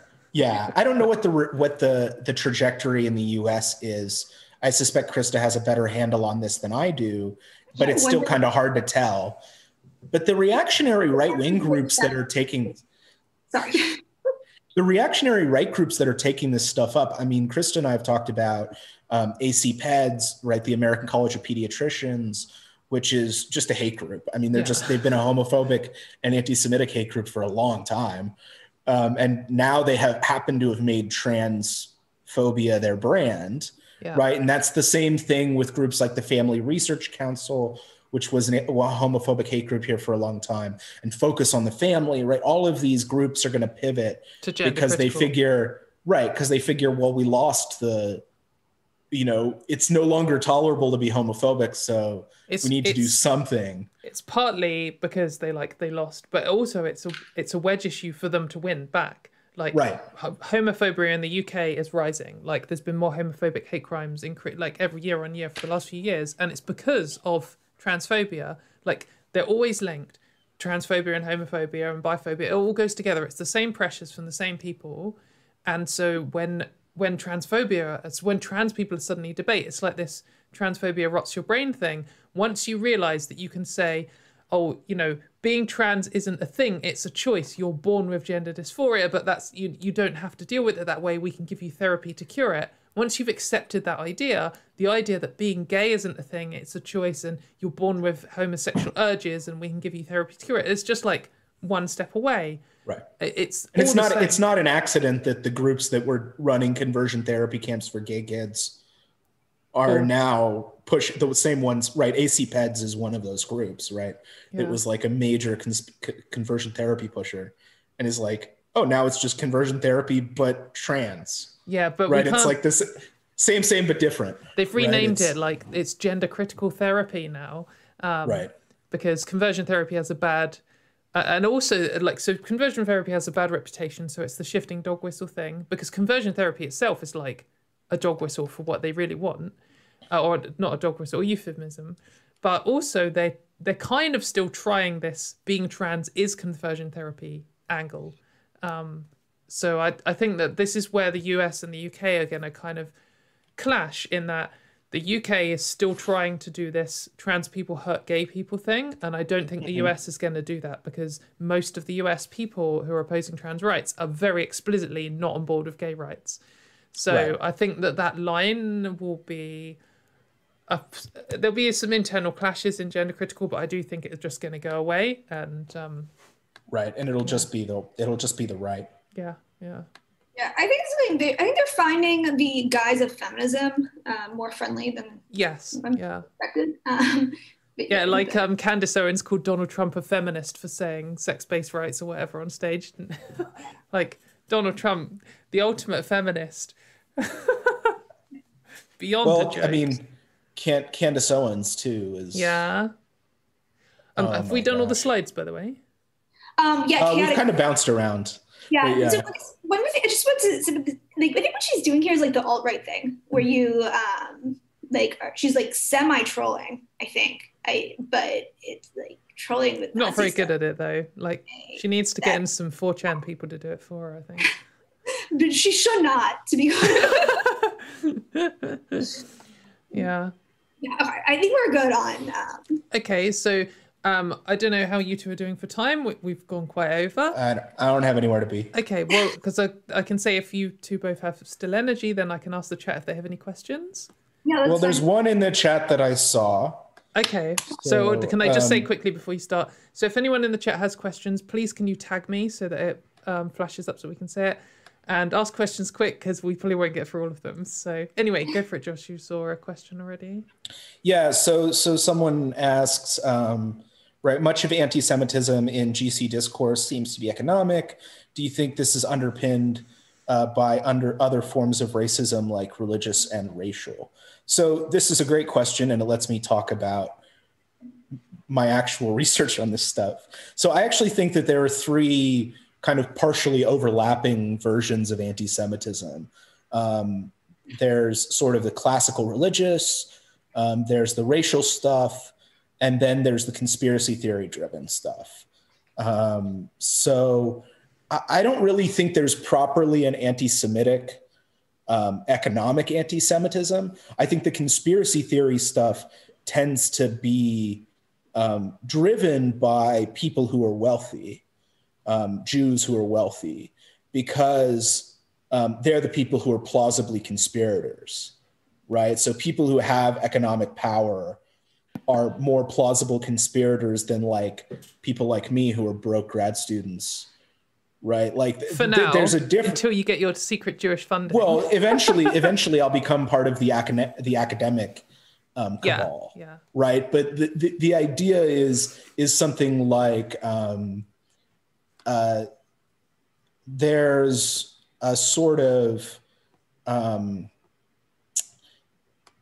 uh, uh insofar as there's an economic dimension to it that focuses on wealth, it tends to focus on wealth because they're prominent figures and because um, follow the money is a common mode of conspiracy theories right? So, um, and we see that with Bilek. We saw that with the pseudonymous uh, Soros's astroturfing trans rights stuff, um, which, uh, as far as I know, comes from uh, Kelly uh, Sadler, who's uh, was originally Kelly Riddell, her maiden name, um, who was when she was writing for the Washington Times, and she went on to work in the Trump administration um, in comms. Um, but she was the one pushing uh, trans rights as being astroturfed by the Jewish boogeyman, right? That that in 2016. Um, so I think that it's I think the conspiratorial dimension has some elements of this, right? So I think that um, the racial and religious dimensions also pivot on a general view that Jews are deserving of suspicion, um, that that they're manipulative or um, plotting or something like this right? So um, when you look at the early Christian writings talking about how the Jews killed Jesus, right? A lot of the stuff is about Jewish character as manipulative um, or, and malicious. And so, and and that sort of develops through the centuries. And then when you get into the development of the eugenics movement in the 19th century, um, that's made much more explicit. Um, so Cesar Lombroso, who's one of the founders of criminology, um, created wrote a book on um, anti-Semitism and the racial science. Right, this is before anti-Semitism was a bad word. Um, anti-Semitism and the racial science is basically about how Jews are um, naturally inclined to criminality because of the pick your phrenological pick yeah. your phrenological explanation, right? I mean, yeah. that's what's going on. But I, my view is that the conspiracy theory stuff is really what's driving most of the modern anti-Semitism. Um, there are still racist anti Semites, um, racially driven anti Semites. There are still uh, religiously driven anti Semites. I mean, those exist. But the big scary stuff right now is the conspiracy theory stuff. And that's why the, the GC stuff, I think, should really be worrisome uh, because that's where it's going. Yeah. Do you do you have anything to add on that, Christa? I don't really know enough about the uh, just, grand scheme. Just about the um, racism stuff. I was like very, um, I'm worried about the gender critical movement as like on ramping for far right racism and stuff. Uh, I think for a decent number of people in the movement, um, the guise is important. Um, and so you have these arguments about trans people that you could just transpose on to racist stuff, um, where like, like demographic features they allowed in public space in like women's yeah spaces. Yeah. Um, like that stuff is like exactly it's just like parallels racist arguments. Um, but they, but when you do it, when people try to move it over and run it, they definitely um, are getting pushback. And I think like when when you go from the level where it's um, like the conspiracy theory about all these Jewish people to saying the thing, um, there's pushback. From. I think that it's maybe not surprising given that the is getting big around like the idea that this is all feminism. Um, it's like essentially a, a, movement that's hiding like what's going on. Um, but yeah, I mean, I think like the I that's that is like I mean, there's people like Posie Parker who um, famously is like more explicitly like a bit more extreme things. Yeah. Um, yeah, it's been Um, that's all I have to add. Okay, that's cool. Well, we can move on to the next question. me, sorry. I moved to my bed because of like a homing instinct. Uh, The the sound's a little worse, but it's okay. You can just sit close to the thing. Just speak into the microphone. um, okay, so the next question is from Andrew. Oh gosh, I just touched it and it suddenly scrolled. Andrew, who says, "What do you think is the way out of this modern anti-trans movement?" So I guess you mean what is like the end of it, or what is the way out? Like, I'll go with what is the end end for or like what is the way out for us? What is the way out for trans people? Um, I don't know, and it's kind of terrifying. I what I'm hoping is it's just a mirror of the anti-gay movement in that there'll there'll be a big horrible push for years to come. I don't even think it's peaked yet. Um, and I think there will be wins and losses along the way, and then it will kind of peter out probably after 10 or 15 years. And that is really horrible to think about and to hear. But I mean, that's what happened with the the like scare around gay people. It just takes a long time for social movements like this to move on. Um, I am hoping that things happen a bit faster with the internet than they did back in the day. So maybe it won't be 15 years. Though the internet also allows people to radicalize much more extreme and faster. So there's that. Um, I guess how this factors in with things like Brexit and the general global shift is also quite important. And it starts getting very complicated and imp- impossible for me to predict. But I, I also hope that, like, short term, people exposing gender critical for what it is will make, like, I do feel like they've got a little bit of a tower of cards at the moment and it's very well stacked, but we're starting to make some difference.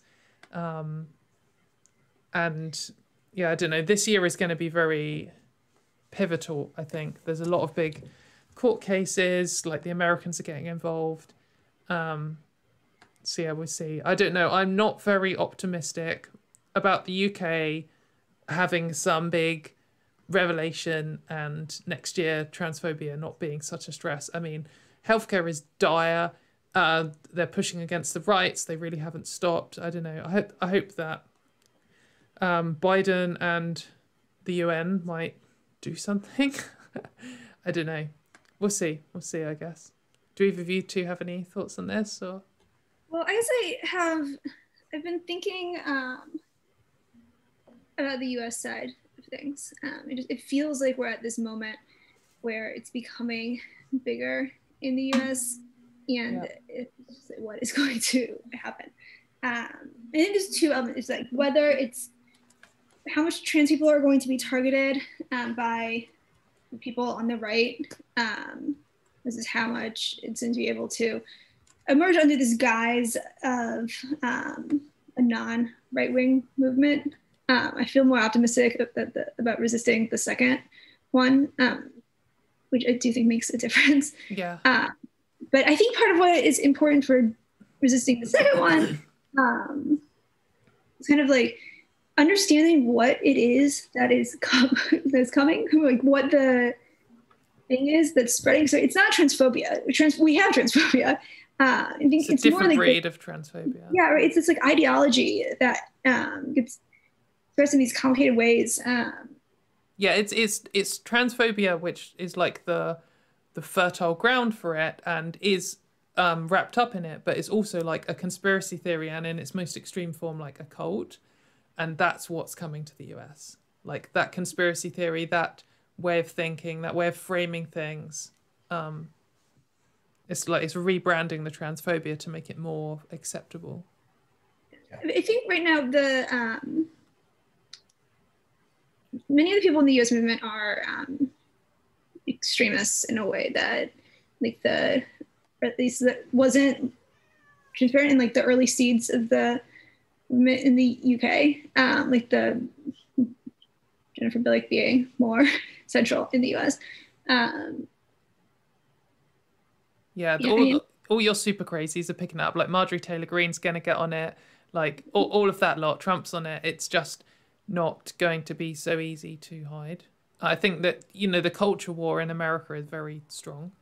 And it's quite clear which side is going to take which side in this Like it's been clear all along who is going to take which sides in this, and it's just going to happen. So, I also think so. So I come out of the LGBTQ community in the Bay Area originally, and I remember a time when groups like the HRC weren't as clearly pro trans rights as they should have been. And we used to joke about the, the HRC gays, right? These sort of like wealthier um, white guys who who had kind of climbed up the ladder and maybe weren't helping people get up the ladder yeah. behind them. And I, I think that one of the things that has changed in the US for the better. And I don't, and from what I can tell, this hasn't happened in the UK, is that those groups have said, no, like the trans movement is, or the gay rights movement was Marsha P. Johnson and Sylvia Rivera. We're done with this crap. Like we're, mm. we're gonna, we're going to go down. And now they actually have, after years of fighting the gay rights battle, they have the political infrastructure and movement to actually make things happen um, because they've become very politically effective and and effective in the courts too. We've we've got so, Stonewall. Um, we've got a few other like LGBT organizations uh, that are that are being more explicitly pro-trans than they were, which I guess yeah. is a similar mirror. But like all the political other political groups are just. But I don't think they're as effective. Like, oh, no, I mean, that's rubbish, what it seems. Rubbish. That's yeah. what it seems like. Like they, they, if the HRC I mean, the, uh, the biggest one of these groups that has been really impressive to me has been Planned Parenthood. Yeah. Um, has been really great about it. And they've become very effective at fundraising. They're really good at this stuff. They have good political organizations. Um, so, I, I mean, I don't know what it's going to take in the UK. I agree with being less optimistic about the UK than the US. Um, but I think the long term trajectory in the UK would involve major political parties. Yeah. Being much less transphobic or even explicitly. Even taking a side. Like the Green Party is having a huge internal strife at the moment, but at least some of the Green Party is explicitly pro trans. None of the other parties are. So, well, I think jo- Joanna Cherry getting kicked out of um, SNP. Yes, the SNP are SNP was was a good sign. They just had a definition of transphobia, which they all agreed on, which the party agreed on, and it's pretty straightforward. It's it's uncontroversial. It's like it, it's transphobic to call trans people names, and everyone's like, "This is outrageous! How can you have such right. a draconian?" definition no it's ridiculous um but, but i saw i saw the joanna cherry stuff and i didn't think anything was going to happen and then all of a sudden she's gone and, and or she's she's getting sacked. And i'm like okay she is still great. in the party and she still has a lot of influence and there's still a thing going on. Well, and yeah. yeah there's a whole fiasco. It, this skirmish is not over but it's a step. yeah, that's, it that's, fair. that's fair. Maybe i'm too optimistic about that. Yeah i'm a bit more involved in it all uh directly. Um, about the movement though is i think like with social movements like the keys are just like can they recruit new people and can they retain people um, and I think with the retaining people, um, I think right now, uh, at least I don't know about right now, I think it has been a um, fulfilling movement for people to be part of. Um, they have gotten major wins in like a relatively grassroots way, which is like um, it's it, people have agency. I think within yeah. it, uh, they feel like they're doing important work. Um, Billy is actually a person who is um, good at cultivating this um, in that she will like often post about like how the people who are retweeting are doing like key work in the movement um, and kind of helping foster this sense of agency. Uh, I think a key problem for retaining people in movements is infighting. Um, it just like because when movements are toxic, people don't stick around. They have a very uh, toxic movement, like internally. Yeah. if you step out of line, it is grim. Yeah, um, and so I think that is a problem for them. Um, and then with the um, recruiting thing, I think they the, the major um, the area that I see like emerging is like people just knowing what is up, um, and like the people. At some point, you reach like the people who are this is appealing to are in it. um, it's the hope, I think. Um, Yeah. So I've going to jump ahead to a couple of questions because I've just noticed a question I think looks quite good. Um, hopefully we'll come back to the others. So this is from Haley Murray Brown who says, "My question is for Christa. Um, do you think that the linkage of anti-Semitism and transphobia uh, has to do with the way the Nazi transphobia has failed to be acknowledged by historians?" So, uh, yeah, I, I guess just to maybe perhaps slightly rephrase it, like the the Nazis did target trans people in a way, but it's less obvious and it's often just referred to as homosexuals, and it kind of, um, and you know, but yeah, sorry, would, did you have a view on that? I, well, I am not qualified to answer this question. I think. Okay, Uh, I mean, I think part of it with this, there's this Verso article who I cannot say the other's name, so that is terrible, but it's good, and we can put it in the comments. I think. Yeah. Um, but yeah, it's um, about this arguing that like the Jesuit was like central to the um, Nazi homophobia in that it was just kind of all um, like gender variance type stuff. Like sexual orientation was um, Yeah. understood as like being like more of a woman and not. Um, and yeah, I, I the question was whether this um, relates like with the emergence today is related to like the failure to conceive of this as part of yeah i mean i think part of it would be bad i think is bad for the lesson of nazism to be that like you can't target jews.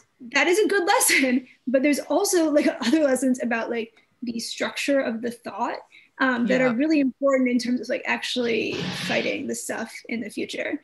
Um, and yeah i think that probably if um yeah it's like the other um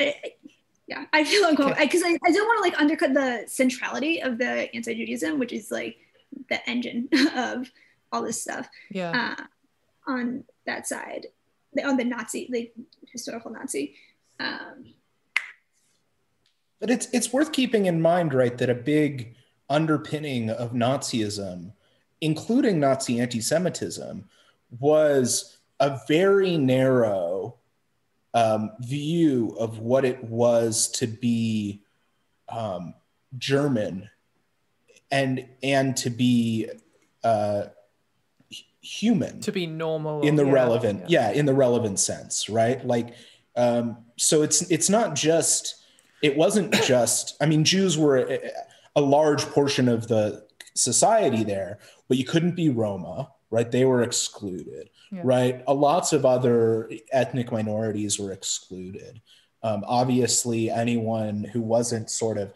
heteronormatively satisfactory was also excluded right so um, I mean, I, I don't think that the Nazi example is a really good one for talking about the the GC movement because the the Nazi movement was really driven by this racist, uh, the development of early race science in a way that I think is very hard to draw parallels to um, with other movements. But it does share a lot of the regressive traditionalist, um, and I'm using traditionalist in a pejorative way here, but but th- those sorts of um, elements, which are um, highly exclusionary. and any kind of essentialist um you know you're either this or this this is how the world is this is natural this is it kind of view i guess is kind of related to that as well um it's, uh, sorry go. Interesting. So, Joshua, do you have thoughts about the? Um, I mean, I think the yeah. I just I. I agree slash believe you on the race science stuff being distinctive. Um, I'm wondering like how much is like an ideological parallel in the um, kind of like naturalization and like biological reality stuff they're doing. Um, I think that's more similar to the the modern neo Nazis. Yeah. Yeah. So I, I mean, I think that that as you get to, um, for example, the modern racist IQ debates, for example, right? That, that that's where it does look really similar because it's like, oh, you know, we're not, you know, we're not racist because we think all black people have lower IQs, right? We're just reflecting the biological reality. Oh, yeah, that right? phrase. That's yeah. that's the language, um, and it's different because um, it's different because now we live in a sort of post Stephen Jay Gould world where people sort of look at this old school race science and go, yeah, most of this frontal, like all of the phrenological um, craniometric blah blah blah stuff is is pretty much garbage um, and they're trying to preserve like one corner of it Yeah. and sort of that's where the relevant similarity is to the gender stuff um, i think because it, it's you know a lot of those people are going to say oh well you know it's not the case that um, all of these sort of historical um, stories about how gayness happens is like going on right? I, I mean that that's that people were made gay because of they had a an estranged relationship from their father figures or something like that right? All of that stuff is bunk. But what sort of persists is the attempt to carve out a little bit of legitimacy through the invocation the broad invocation of uh, quote science unquote. Um, and i think that's that's where it looks similar but that i think is a feature of um, late 20th century neo-nazism rather than uh, og nazism of the Right. of the 20s and 30s Which I guess makes sense because it's um a- a 'Cause it's contemporaneous. Yeah, exactly. Yeah, that wasn't a word I knew, but that's exactly what I wanted to say.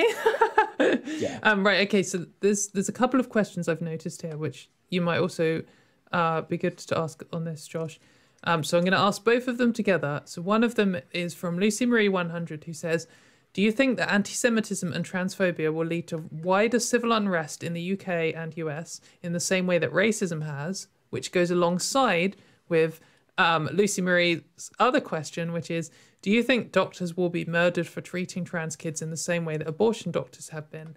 So I guess this is do we think transphobia is going to lead to actual violence and, and, and anti Semitism, and are they linked, I guess? Well, the answer to the second question is yes. I mean, I, that that's the depressing reality. I mean, I made the parallel earlier. We were talking earlier about the anti-abortion movement. I mean, they killed people. Yeah. They still do kill people every once in a while. Um, I, I would be really surprised if we don't see a bombing of a clinic in the next five years. Yeah. I would be I would be genuinely surprised. I hope it doesn't happen. I don't want it to happen, um, but I think it's pretty likely. Um, so that that second part of the question is is um, is it painful? Yeah, I think that's probably going to happen. It's like a what I was saying that is like I do like looking at the movement. Um, like that is like what it looks like is like Yeah. I, uh, That's what I see too. part of it Sorry, is, like, can you a- say that again? It's just looking like when I look at the movement, it looks like um, not that it's like intentionally laying the groundwork for it, but it looks like it is in fact laying the the creating yes, the basic. intentionally or otherwise. I, and it's I think there's a significant element of chance with like whether someone happens to take it up. Um, but yeah, I I think that's the direction that the rhetoric is moving in, especially like on the U.S. side. Yeah, I think yeah, I do think probably more likely in the US. I don't know. You just have more of a history of that, I guess. But and there's more people and um, more people breeds more extremism. But um, in the UK, I mean, in terms of unrest, like transphobic hate crimes have gone up like fourfold in three years or something. Uh, it's just getting worse.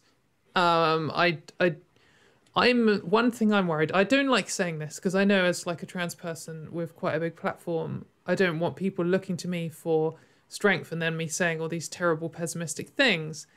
Um, so I guess I am a warrior and I am being pessimistic in general, and it's definitely worth talking to some older trans people than me who have been around to see all the horror in the 80s and 90s. And to them, this doesn't like it looks bad, but it doesn't look as bad as it's been. But I do wonder after lockdown, like no one's been out. I before lockdown, 2019 was an amazing year for me. Everywhere I went, it was just really good, and you know, everything was great. I had a really good year anyway, personally. But I do think, at least from my point of view, what happens when we all start going out again in lockdown, there's been 18 months, two years worth of radicalization and further extremism of gender critical. Like, is that going to translate to physical threats? Like, what's that gonna what's that gonna mean? Um, because things that it's like there's not going to be this natural progression. There's going to be a sudden jump. Like the last time I went out, it was a lot less extreme here than the next time I go out. Yeah. Um, I mean, the, I guess the one worry that I have about the, and this is the first part of the question, is you know, does do does this sort of tension building create progress?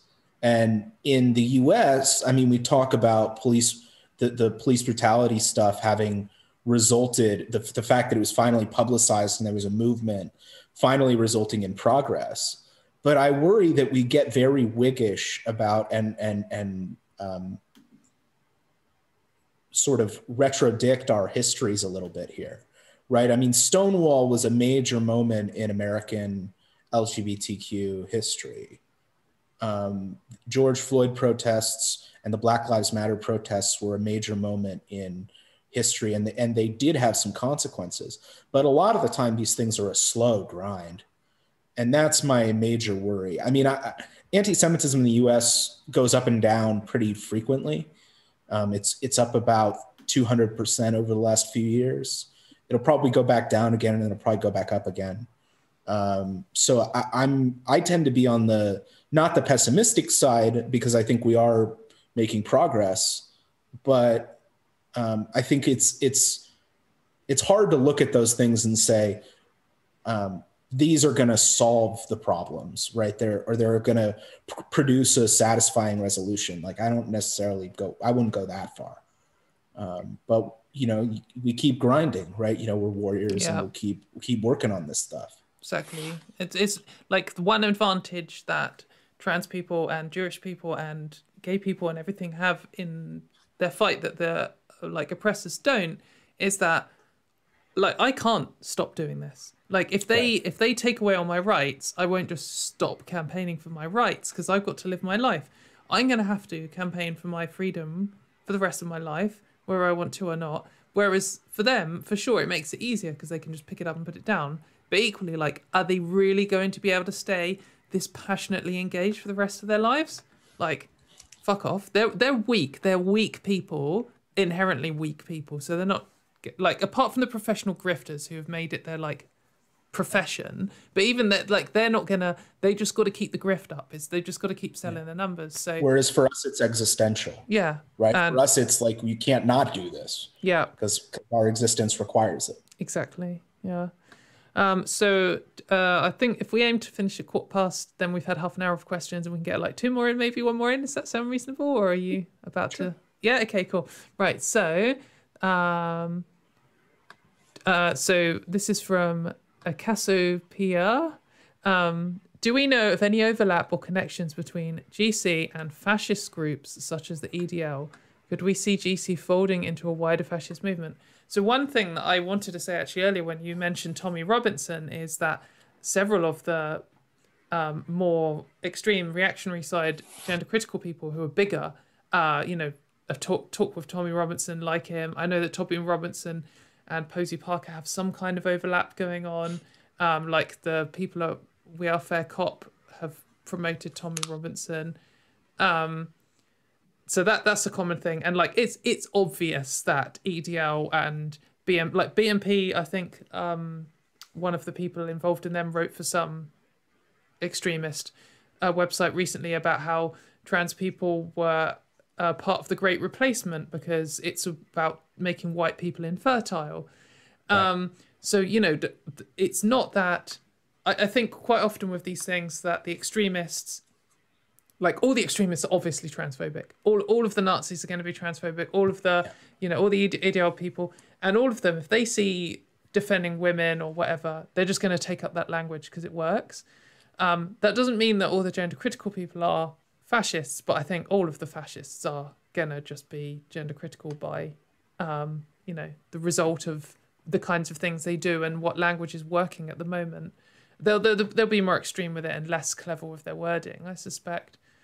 Um, Yeah. But yeah, I mean, there's de- there's definitely like explicit overlap uh, and and support for each other. I mean, another thing is um, worth looking up, and I'm not going to say the names now because I I can't remember them well enough to be certain. But like, um, Posie Parker has been on certain people's internet shows who have dubious histories and talked at certain dubious conferences. And like Sonia Poulton is another one who has been on some very dubious, related to the topic of today's episode podcasts. Um, you know, so there's there's gonna there's of course there's overlap. Yeah, I don't know if either of you two have thoughts. Yeah, to kind of like carve out a little factor in whether, um, in like the gender critical people moving to the more traditional far right, um, I think part of it is like the reactionary um, weak gender roles um, that are normally associated with far right politics. Um, I think that something that's important here um, with like the way that the gender critical movement is currently like billing itself as critical of gender, sometimes even gender abolitionists. Uh, but the combination of uh, wanting to abolish gender combined with reifying sex, biological sex, you could have a version of this view and be like a straight up Nazi, like a traditional Nazi, Yeah. where you gender, which is like the culturally malleable stuff, you can put in like wearing makeup, um, trying to be skinny, uh, that kind of stuff. And then in the biological sex side, you have like motherhood. Um, and Yes. if you Yeah. biologize a lot of this stuff, then this, you can have this like gender critical view and like want to, because a normal part of like ultra far right views are like modern womanhood being bad. and if you make that gender and then emphasize and like, then the biological sex thing is right, that it can be a very far right view. You you you um, see like it's very you I think you very explicitly see gender critical people taking bits of what like radical feminists might call gender and just relabeling it as sex and saying it's yeah motherhood and pronouns and motherhood. Yeah, Yeah. The, the the way they are about motherhood is a big red flag for me. yeah uh, where like it's yeah that that is like i think a i mean there's like a like gestate that is distinctive but then like the bulk of mother is like a paradigmatic cultural role right Yeah. and then as soon as that is becoming like biological reality yikes I, yeah you're not a woman until you've like breastfed a child kind of thing um Yeah. Yeah But the, I think I think um, so. I, I've talked about this in the context of um, the American far right a lot. Um, the conspiratorial wing of the American far right has always existed, at least in at least since the 19th century. Um, the it was never the dominant force in American right wing politics until about 2010 and I, I would I joke with people. I said, look, this thing ate the American Republican Party. And what I don't mean by that is that I don't mean that every Republican is now a conspiracy theorist, but those people are now Not the yet. dominant. Well, they're the dominant yeah political force within the party, right? It's Donald Trump and Kevin McCarthy and Marjorie Taylor Greene and Matt Gaetz and all these figures, rather than um, Chuck Grassley and Mitch McConnell, right? Mm. I mean, that's the the way that it happens, and and so I don't know if I see. I think um, I don't know if I see these sorts of fascist associations eating the gender critical movement in that way. But I think a lot of it will depend on how um, gender critical figures react to people like Bilek going full anti Semite. Well Right, like, i I think, we if- know they're gonna just be quiet and hope it goes away But that's what I mean, right? Is if, if that's what you see, then that should be a really serious worry. Because if it's if it's Posie Parker and Jennifer Bilek hanging with Tommy Robinson, then all of a sudden we're talking about uh, a pretty politically significant movement, maybe eating the Tory party in the UK, or at least becoming influential in the Tory party in the UK. And that's that's freaking scary to me. Yeah. So Um, just and- just to be clear, I just want to explicitly say for the record, uh, I don't know if Posie Parker and Jennifer Bilek have any association, or if Jennifer Bilek and Tommy Robinson have any association.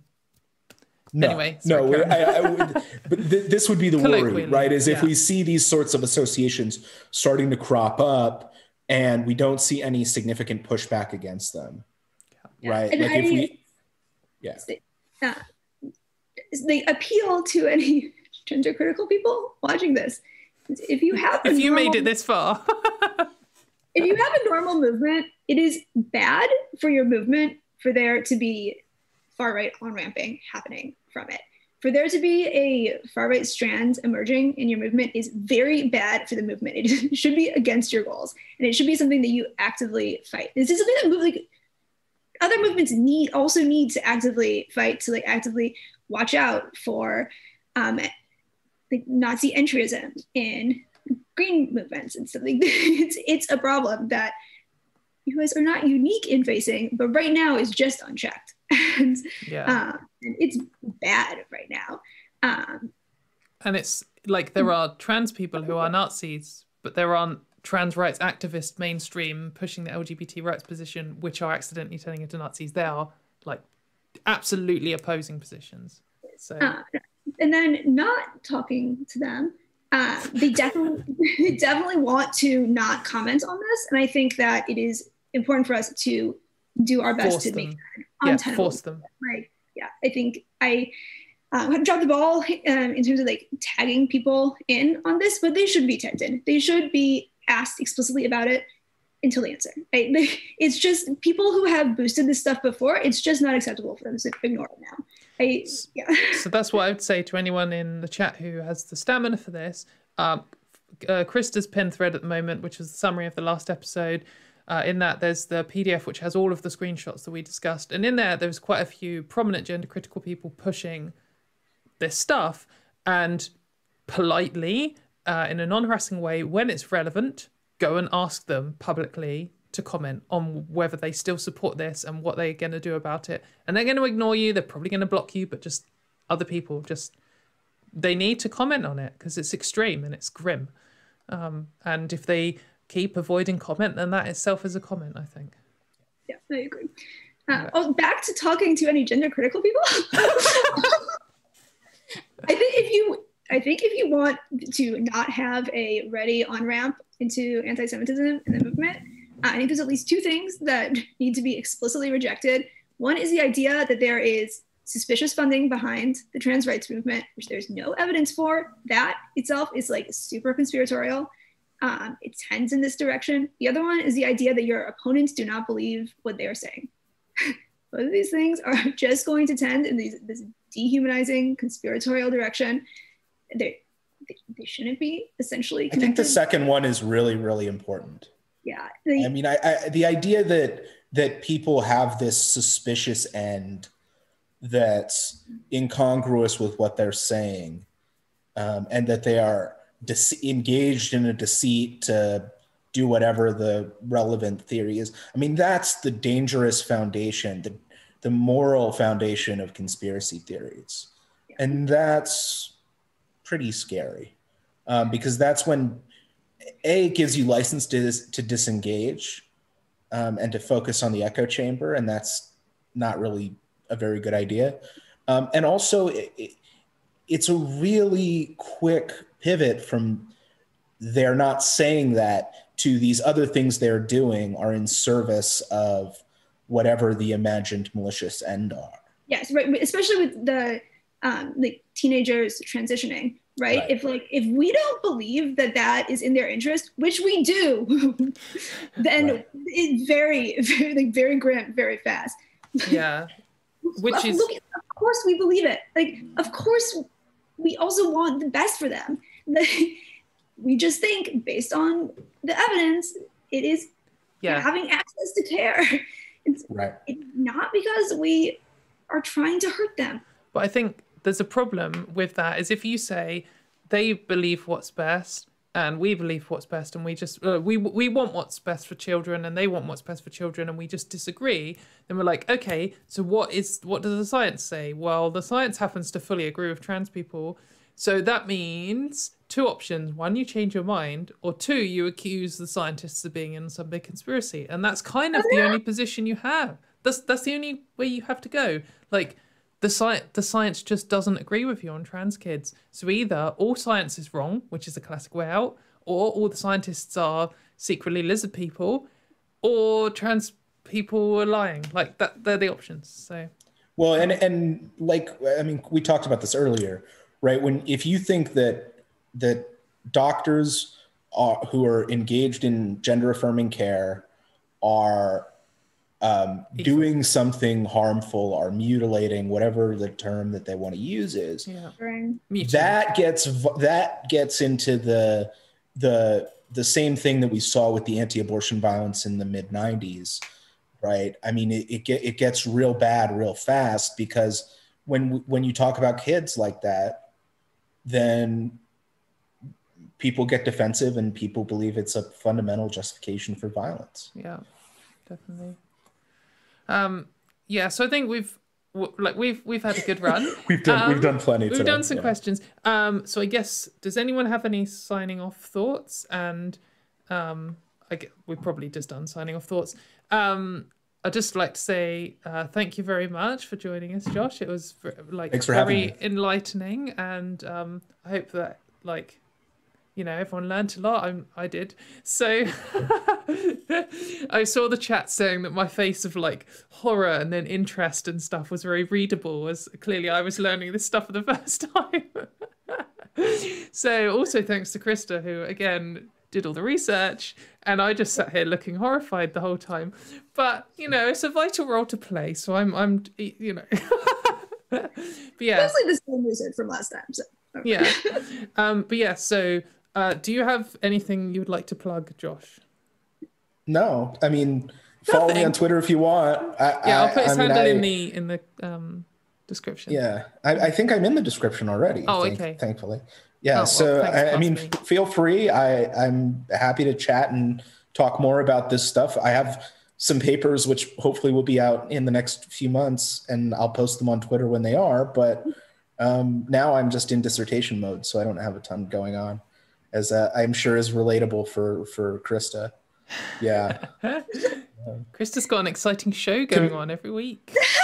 yeah, And my dissertation. yeah. Com- commiserations on that second part, at least. yeah, okay. Thank you very much, everyone. Thank you in the chat. Have a nice day. Um, it was good to see you all. See you next week, 9 p.m. UK time, 1 p.m. California time. I always forget Pacific time. That's what it's called. Um, yeah, okay. Thank you, everyone. Bye.